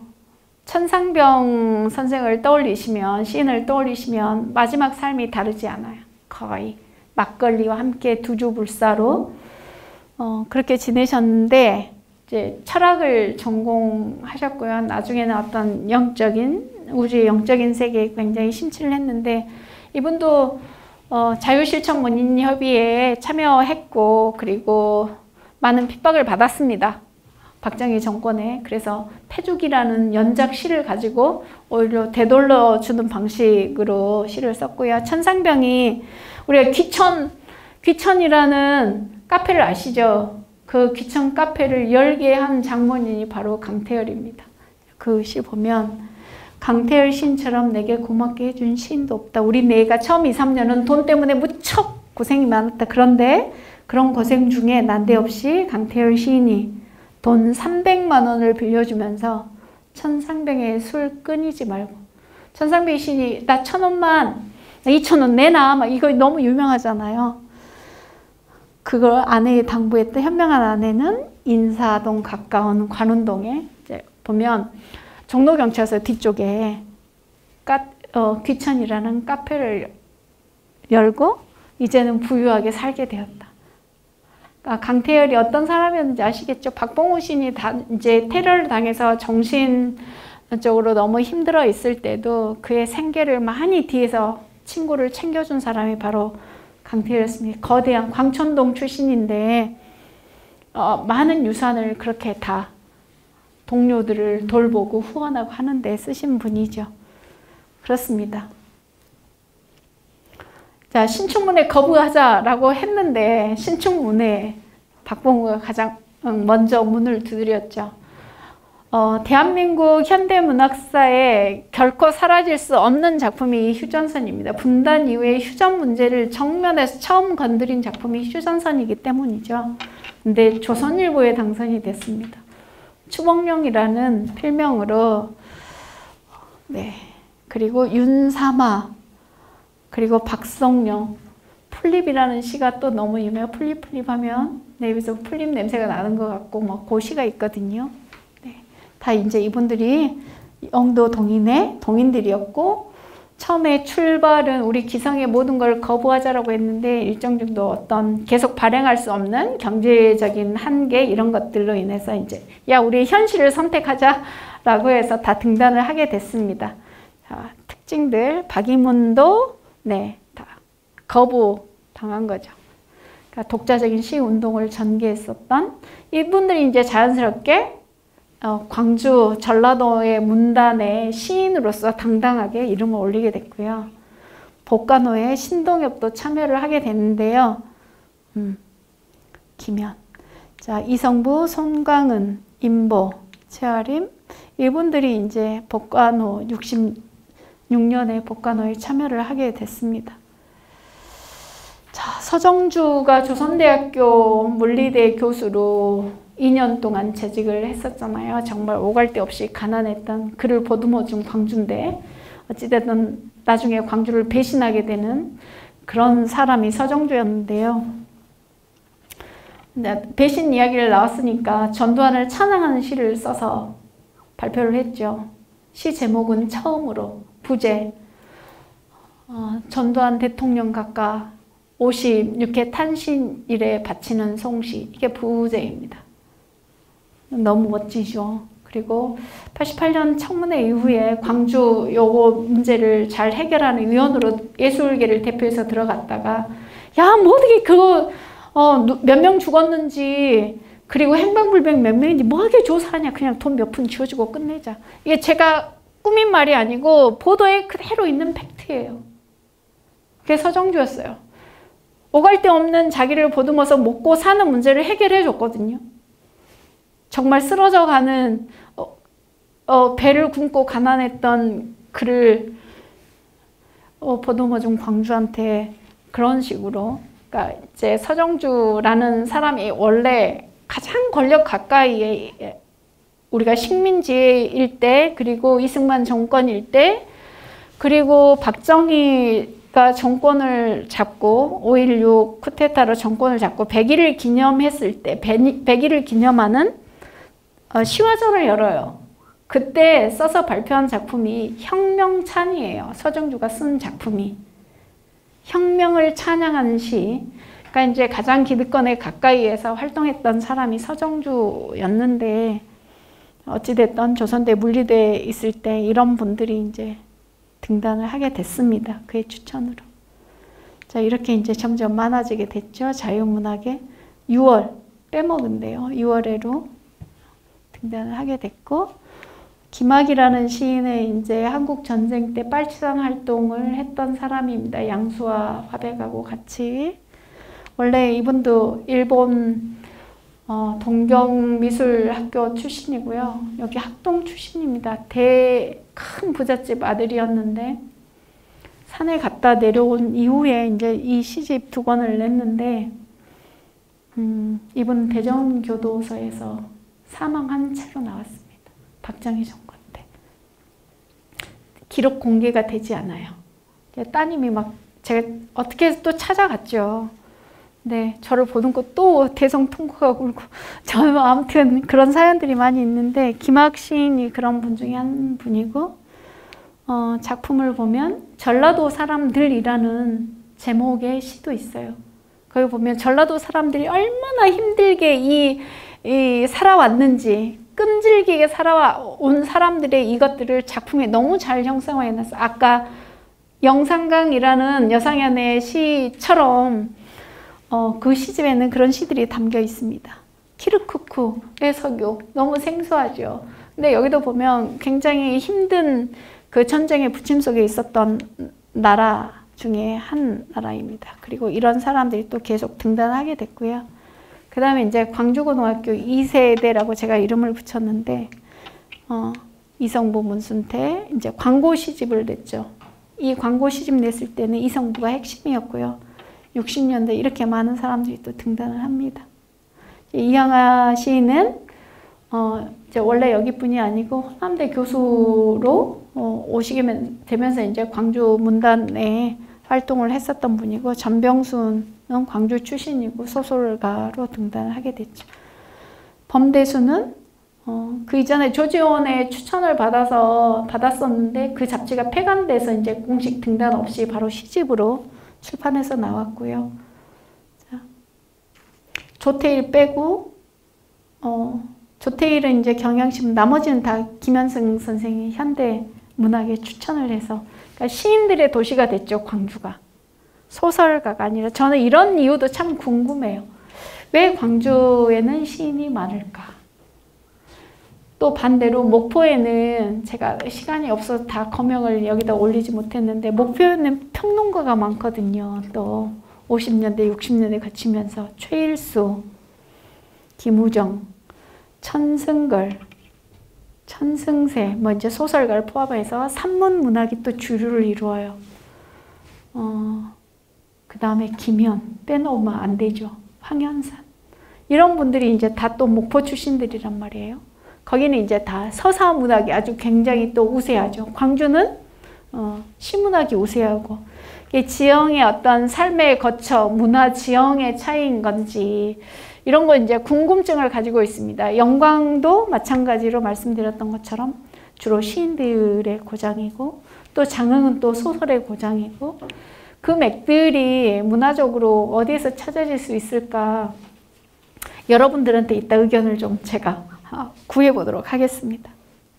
네, 조태일 시인이 예, 시인이라는 잡지를 내서 이걸 통해서 등단한 사람이 김지아, 김준태, 양성호입니다. 조태일 시인이 이 잡지를 통해서 이 사람들이 이제 이 세 분이 문학인으로서 성장할 수 있는 공식적인 루트, 과정을 그래서 어, 김지아는 나에게 조태일은 대장이다. 라고 이야기를 했습니다. 물론 지금처럼 이제 이런 이야기 저런 이야기가 오가기 전에 했던 거니까 그것도 김현이 서울대 물리대를 다니고 있었던 김현이 김지아에게 야 너 처음에 이제 창비로 보냈다가 안 된 거예요. 아너 했는데 김현이 야 거기 말고 조태일한테 갖고 가라. 내가 이야기해 놓을게. 그래서 가서 이제 김지아가 세상에 이제 문인으로 등장, 시인으로 등장하게 된 거고 80년대 이제 어, 이런 무크지 언론 통폐합하고 잡지 이제 출판 불허하고 이럴 때 다시 복간해서 조태일 시인이 무크지로 냈었던 것. 자, 또 동인의 활동으로 원탁시 동인을 이야기하지 않을 수 없습니다. 67년에 창간해서 지금까지도 나오고 있습니다. 일일이 다 검명하기 어려우니까 이런 분들이 네 활동했고 이런 분들이 활동하고 있고 정도만 하고 패스하겠습니다. 70년대 자유실천 문인협의회 100일인 선언에 자 우리 전라도에서는 광주와 전남에서는 이런 분들이 거기에 함께 했다. 강태열, 김남주, 박봉호, 문병란, 문순태, 이성부, 조태일, 송기숙, 양성우, 한승원, 최아림, 이시영, 송영, 이청준 이름을 올린 사람들이고요. 자, 광고도 냈습니다. 광고. 우리는 수호해야 된다. 광주 서중, 광주고 출신 김우창 평론가거든요. 김병욱 충남대 교수 하셨었는데 평론가시고요. 강태열, 박봉우, 임보, 한수아 언론인이었던 시인 이성부의 부인입니다. 좋대. 네, 이렇게 그 다음에 문익환, 송상옥, 한승원, 조태일 이렇게 또 문, 어, 윤동주 시를 발췌해서 그대로 여기는 전봉주. 그래서 어, 유신 정권에 대항했던 그런 문인들을 또 만날 수 있죠. 제가 처음에 최원순으로부터 이렇게 쭉 그 어떤 우리 전라도의 문학 정신을 반드시 이렇게 들여다 봐야 된다라는 그 맥락 안에서 계속 들여다 어, 이야기하고 오는데 그 맥이 다 자연스럽게 다 이어지시죠. 제가 인위적으로 뭐 이런 게 아니라 자료들을 통해서 보면 그 다음에 이제 이 모교시 동인이 79년에 만들어지는데 모교시 동인에는 강인한 고정이 국효문, 김종, 허영만 이분들이 참여를 하게 됐고요. 이제 이게 6집을 나오고 이제 종간했죠. 그리고 5월시 동인이 만들어집니다. 광주민중항쟁 이후에. 동인 활동들이 쭉 이렇게 이어지고 있다라고 하는 것도 이제 맥이 좀 보이실 터인데요. 김진경 뭐 서울대 사범대에 나왔고 국어 선생이었고 당시에 박몽구는 박상태 가명으로 참여하고 수배 중이었었거든요. 나종영. 네, 다 전남대 출신들입니다. 곽재구. 나중에 이제 이 집부터 참여를 했는데 나예철은 성형외과 의사고요. 이분은 이제 언론인 하셨죠. 이런 분들이 이제 5월시 동인으로 어, 광주의 문제를 광주의 아픔과 그리고 또 산자의 부끄러움과 한편으로 또 애도하고 추도하고 하면서 이제 알리는 역할들을 시로 이제 앞에서 선대에서 또 활동을 하셨던 그 과정들이 있습니다. 다시 이제 여성 작가 박화성 이야기 시간이 없으니까 조금씩만 마무리하고 가도록 하겠습니다. 등단하게 된 과정을 제가 말씀을 드렸으니까 아시잖아요. 네. 박화성은 정말 대단한 작가였다라고 한마디로 말씀드리고 싶어요.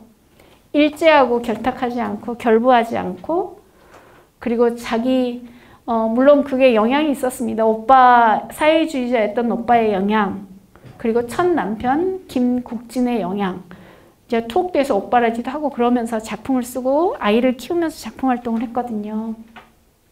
일본 유학 가서 어, 그 유학하던 시절 회고한 기록을 보면 처절하게 영문학부 어, 일본 대학 영문학부를 우리 지역에서 첫 그러니까 우리 조선의 여학생으로서는 처음 입학을 한 거예요.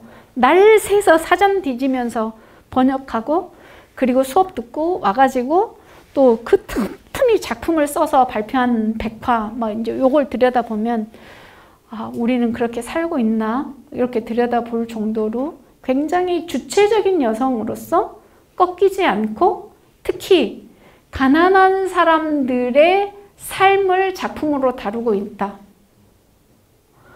이제 이 부분에 있어서는 누구도 노라고 이야기할 수 있는 사람이 없습니다. 대단한 어, 여성 작가였죠.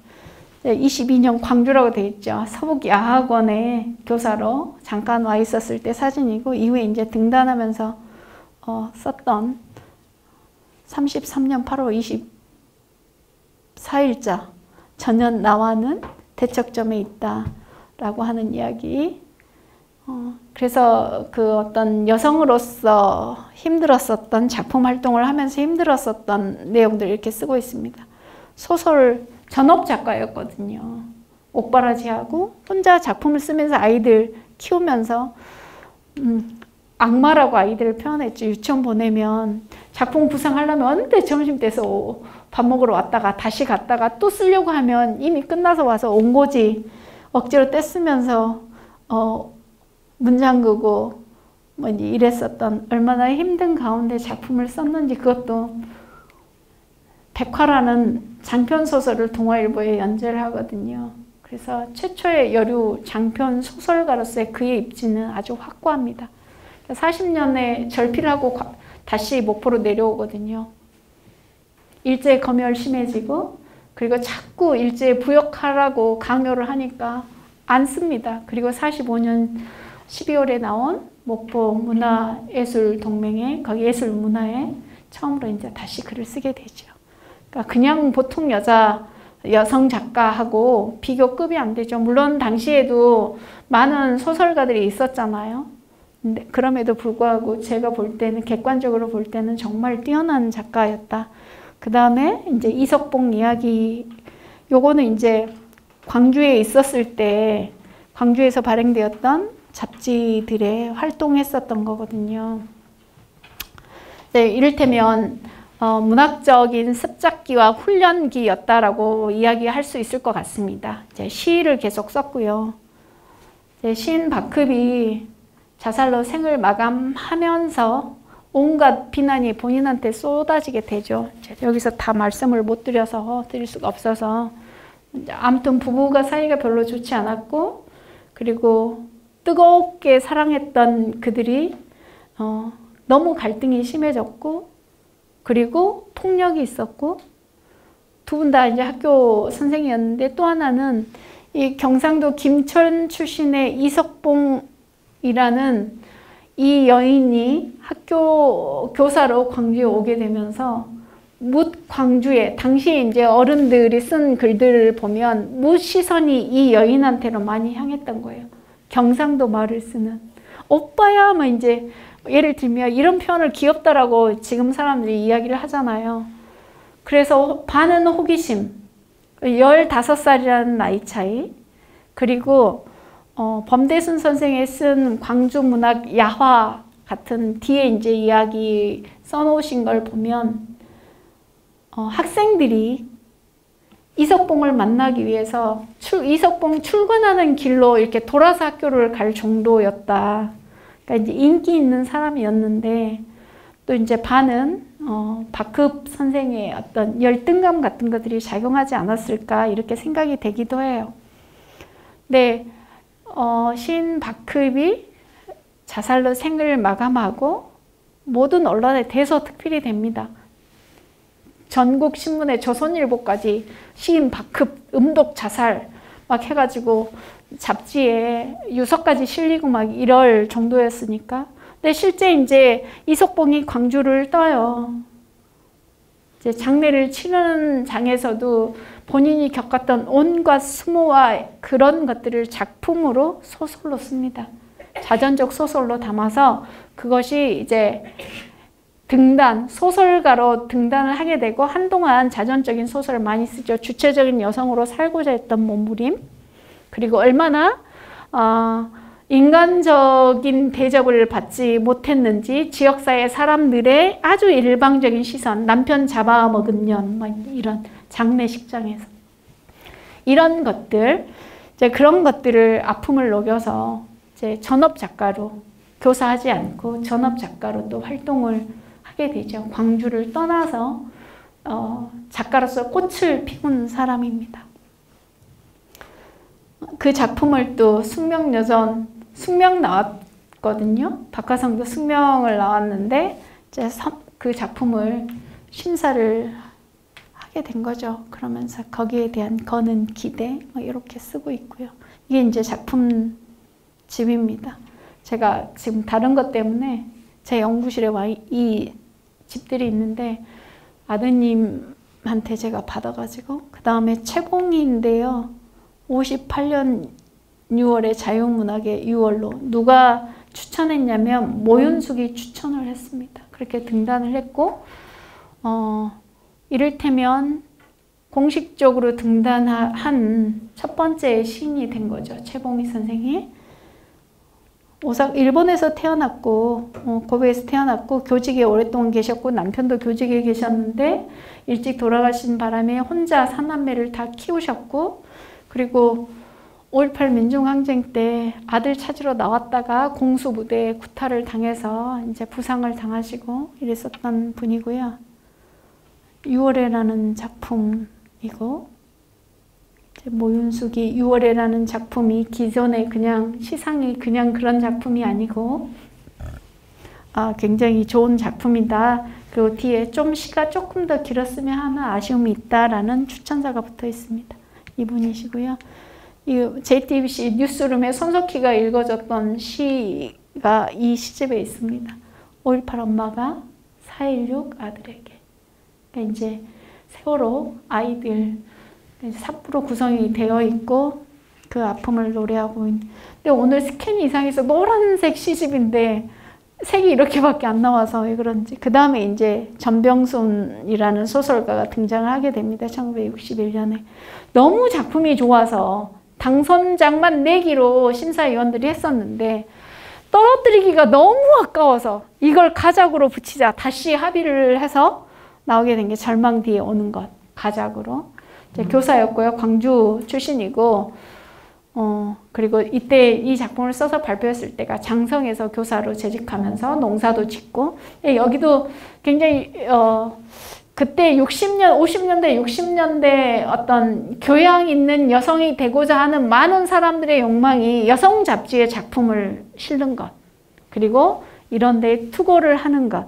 이것이 나의 사회적 지위와 교양을 대변해 주는 것처럼 이제 그 분위기가 형성이 그때 당시의 문화적인 분위기 아래서 어 이제 그때 당시에 가질 수 있는 여성들 뭐 박하상처럼 주체적이고 이 단계 이분은 별로 이제 그런 게 글 속에는 본인 나중에 한 이야기로는 그런 건 좀 이제 덜합니다. 덜한데 꾸준히 작품을 썼고 어, 어 71년에 등단하고 10년 뒤에 너의 가장 대표작으로 꼽는다면 어떤 것을 꼽겠는가 요 조명하는 난에 테스트 필이라는 작품을 어, 꼽는다. 그것도 이제 가난한 집에 이제 수해가 났는데 정말 괜찮은 가장이었는데 수해가 나고 보니까 자기 혼자 살려고 몸부림을 쳤고 아빠 나 데리고 가니까 밀치고 혼자 살아남기로 근데 이제 그 중에 한 자식만 잘못되고 나머지 가족들은 다행히 다 살았는데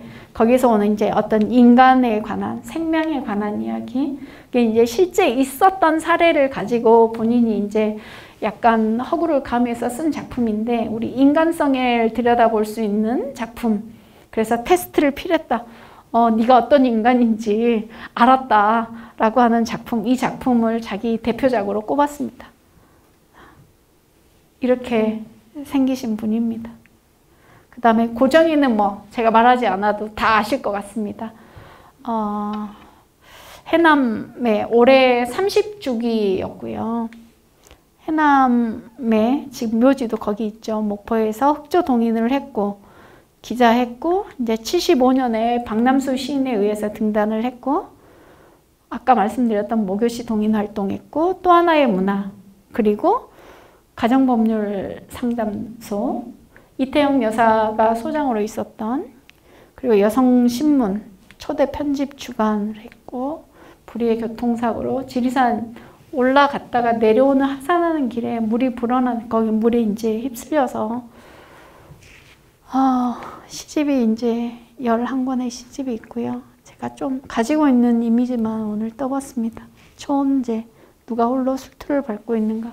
초기에는 굉장히 이제 그 신학교를 나왔다는 데서 알 수 있듯이 어떤 기독교 세계에 심취해 있는 그런 작품이었는데 또 하나의 문화 광주 민중항쟁 이후 그리고 또 하나의 문화 어, 그곳에서 활동을 하면서 이제 여성 해방 운동의 전사로 활동을 하게 되죠. 작품들도 그렇고 그의 삶도 그렇고.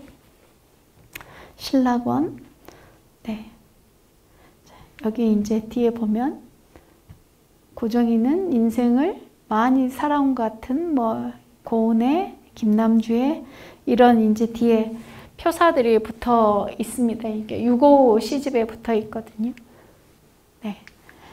그래서 여성 작가들이 사실 많지 않아요. 일단 제가 70년대까지 중에 좀 대표적으로 국효문도 이 목요시 동인 활동을 했는데 여기에는 시간 관계상 제가 넣지는 않았지만 굉장히 많은 시인, 음, 작가들, 물론 다 언급은 안 드렸습니다만, 송기숙이라든지 한승원이라든지, 뭐 이제 나머지, 어, 소설가들, 이런 분들을 언급은 하진 않았지만, 어, 이 많은 작가들 그룹 안에 여성 작가들이 이렇게 몇 사람밖에 안 돼요.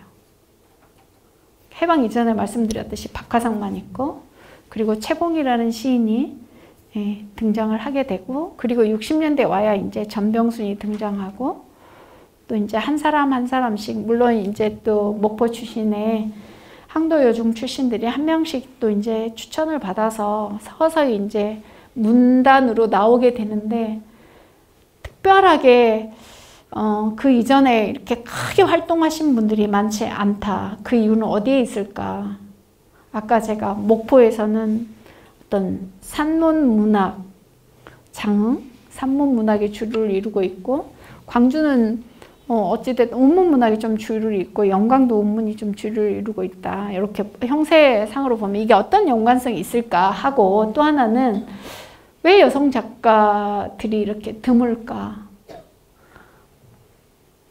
그것들에 대해서 함께 이야기를 좀 나눠 봤으면 좋겠다. 이렇게 말씀을 드리면서 이 제제 이야기 발표는 여기까지 하고요.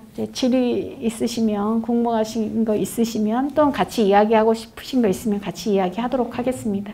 제 발표는 여기서 마치겠습니다.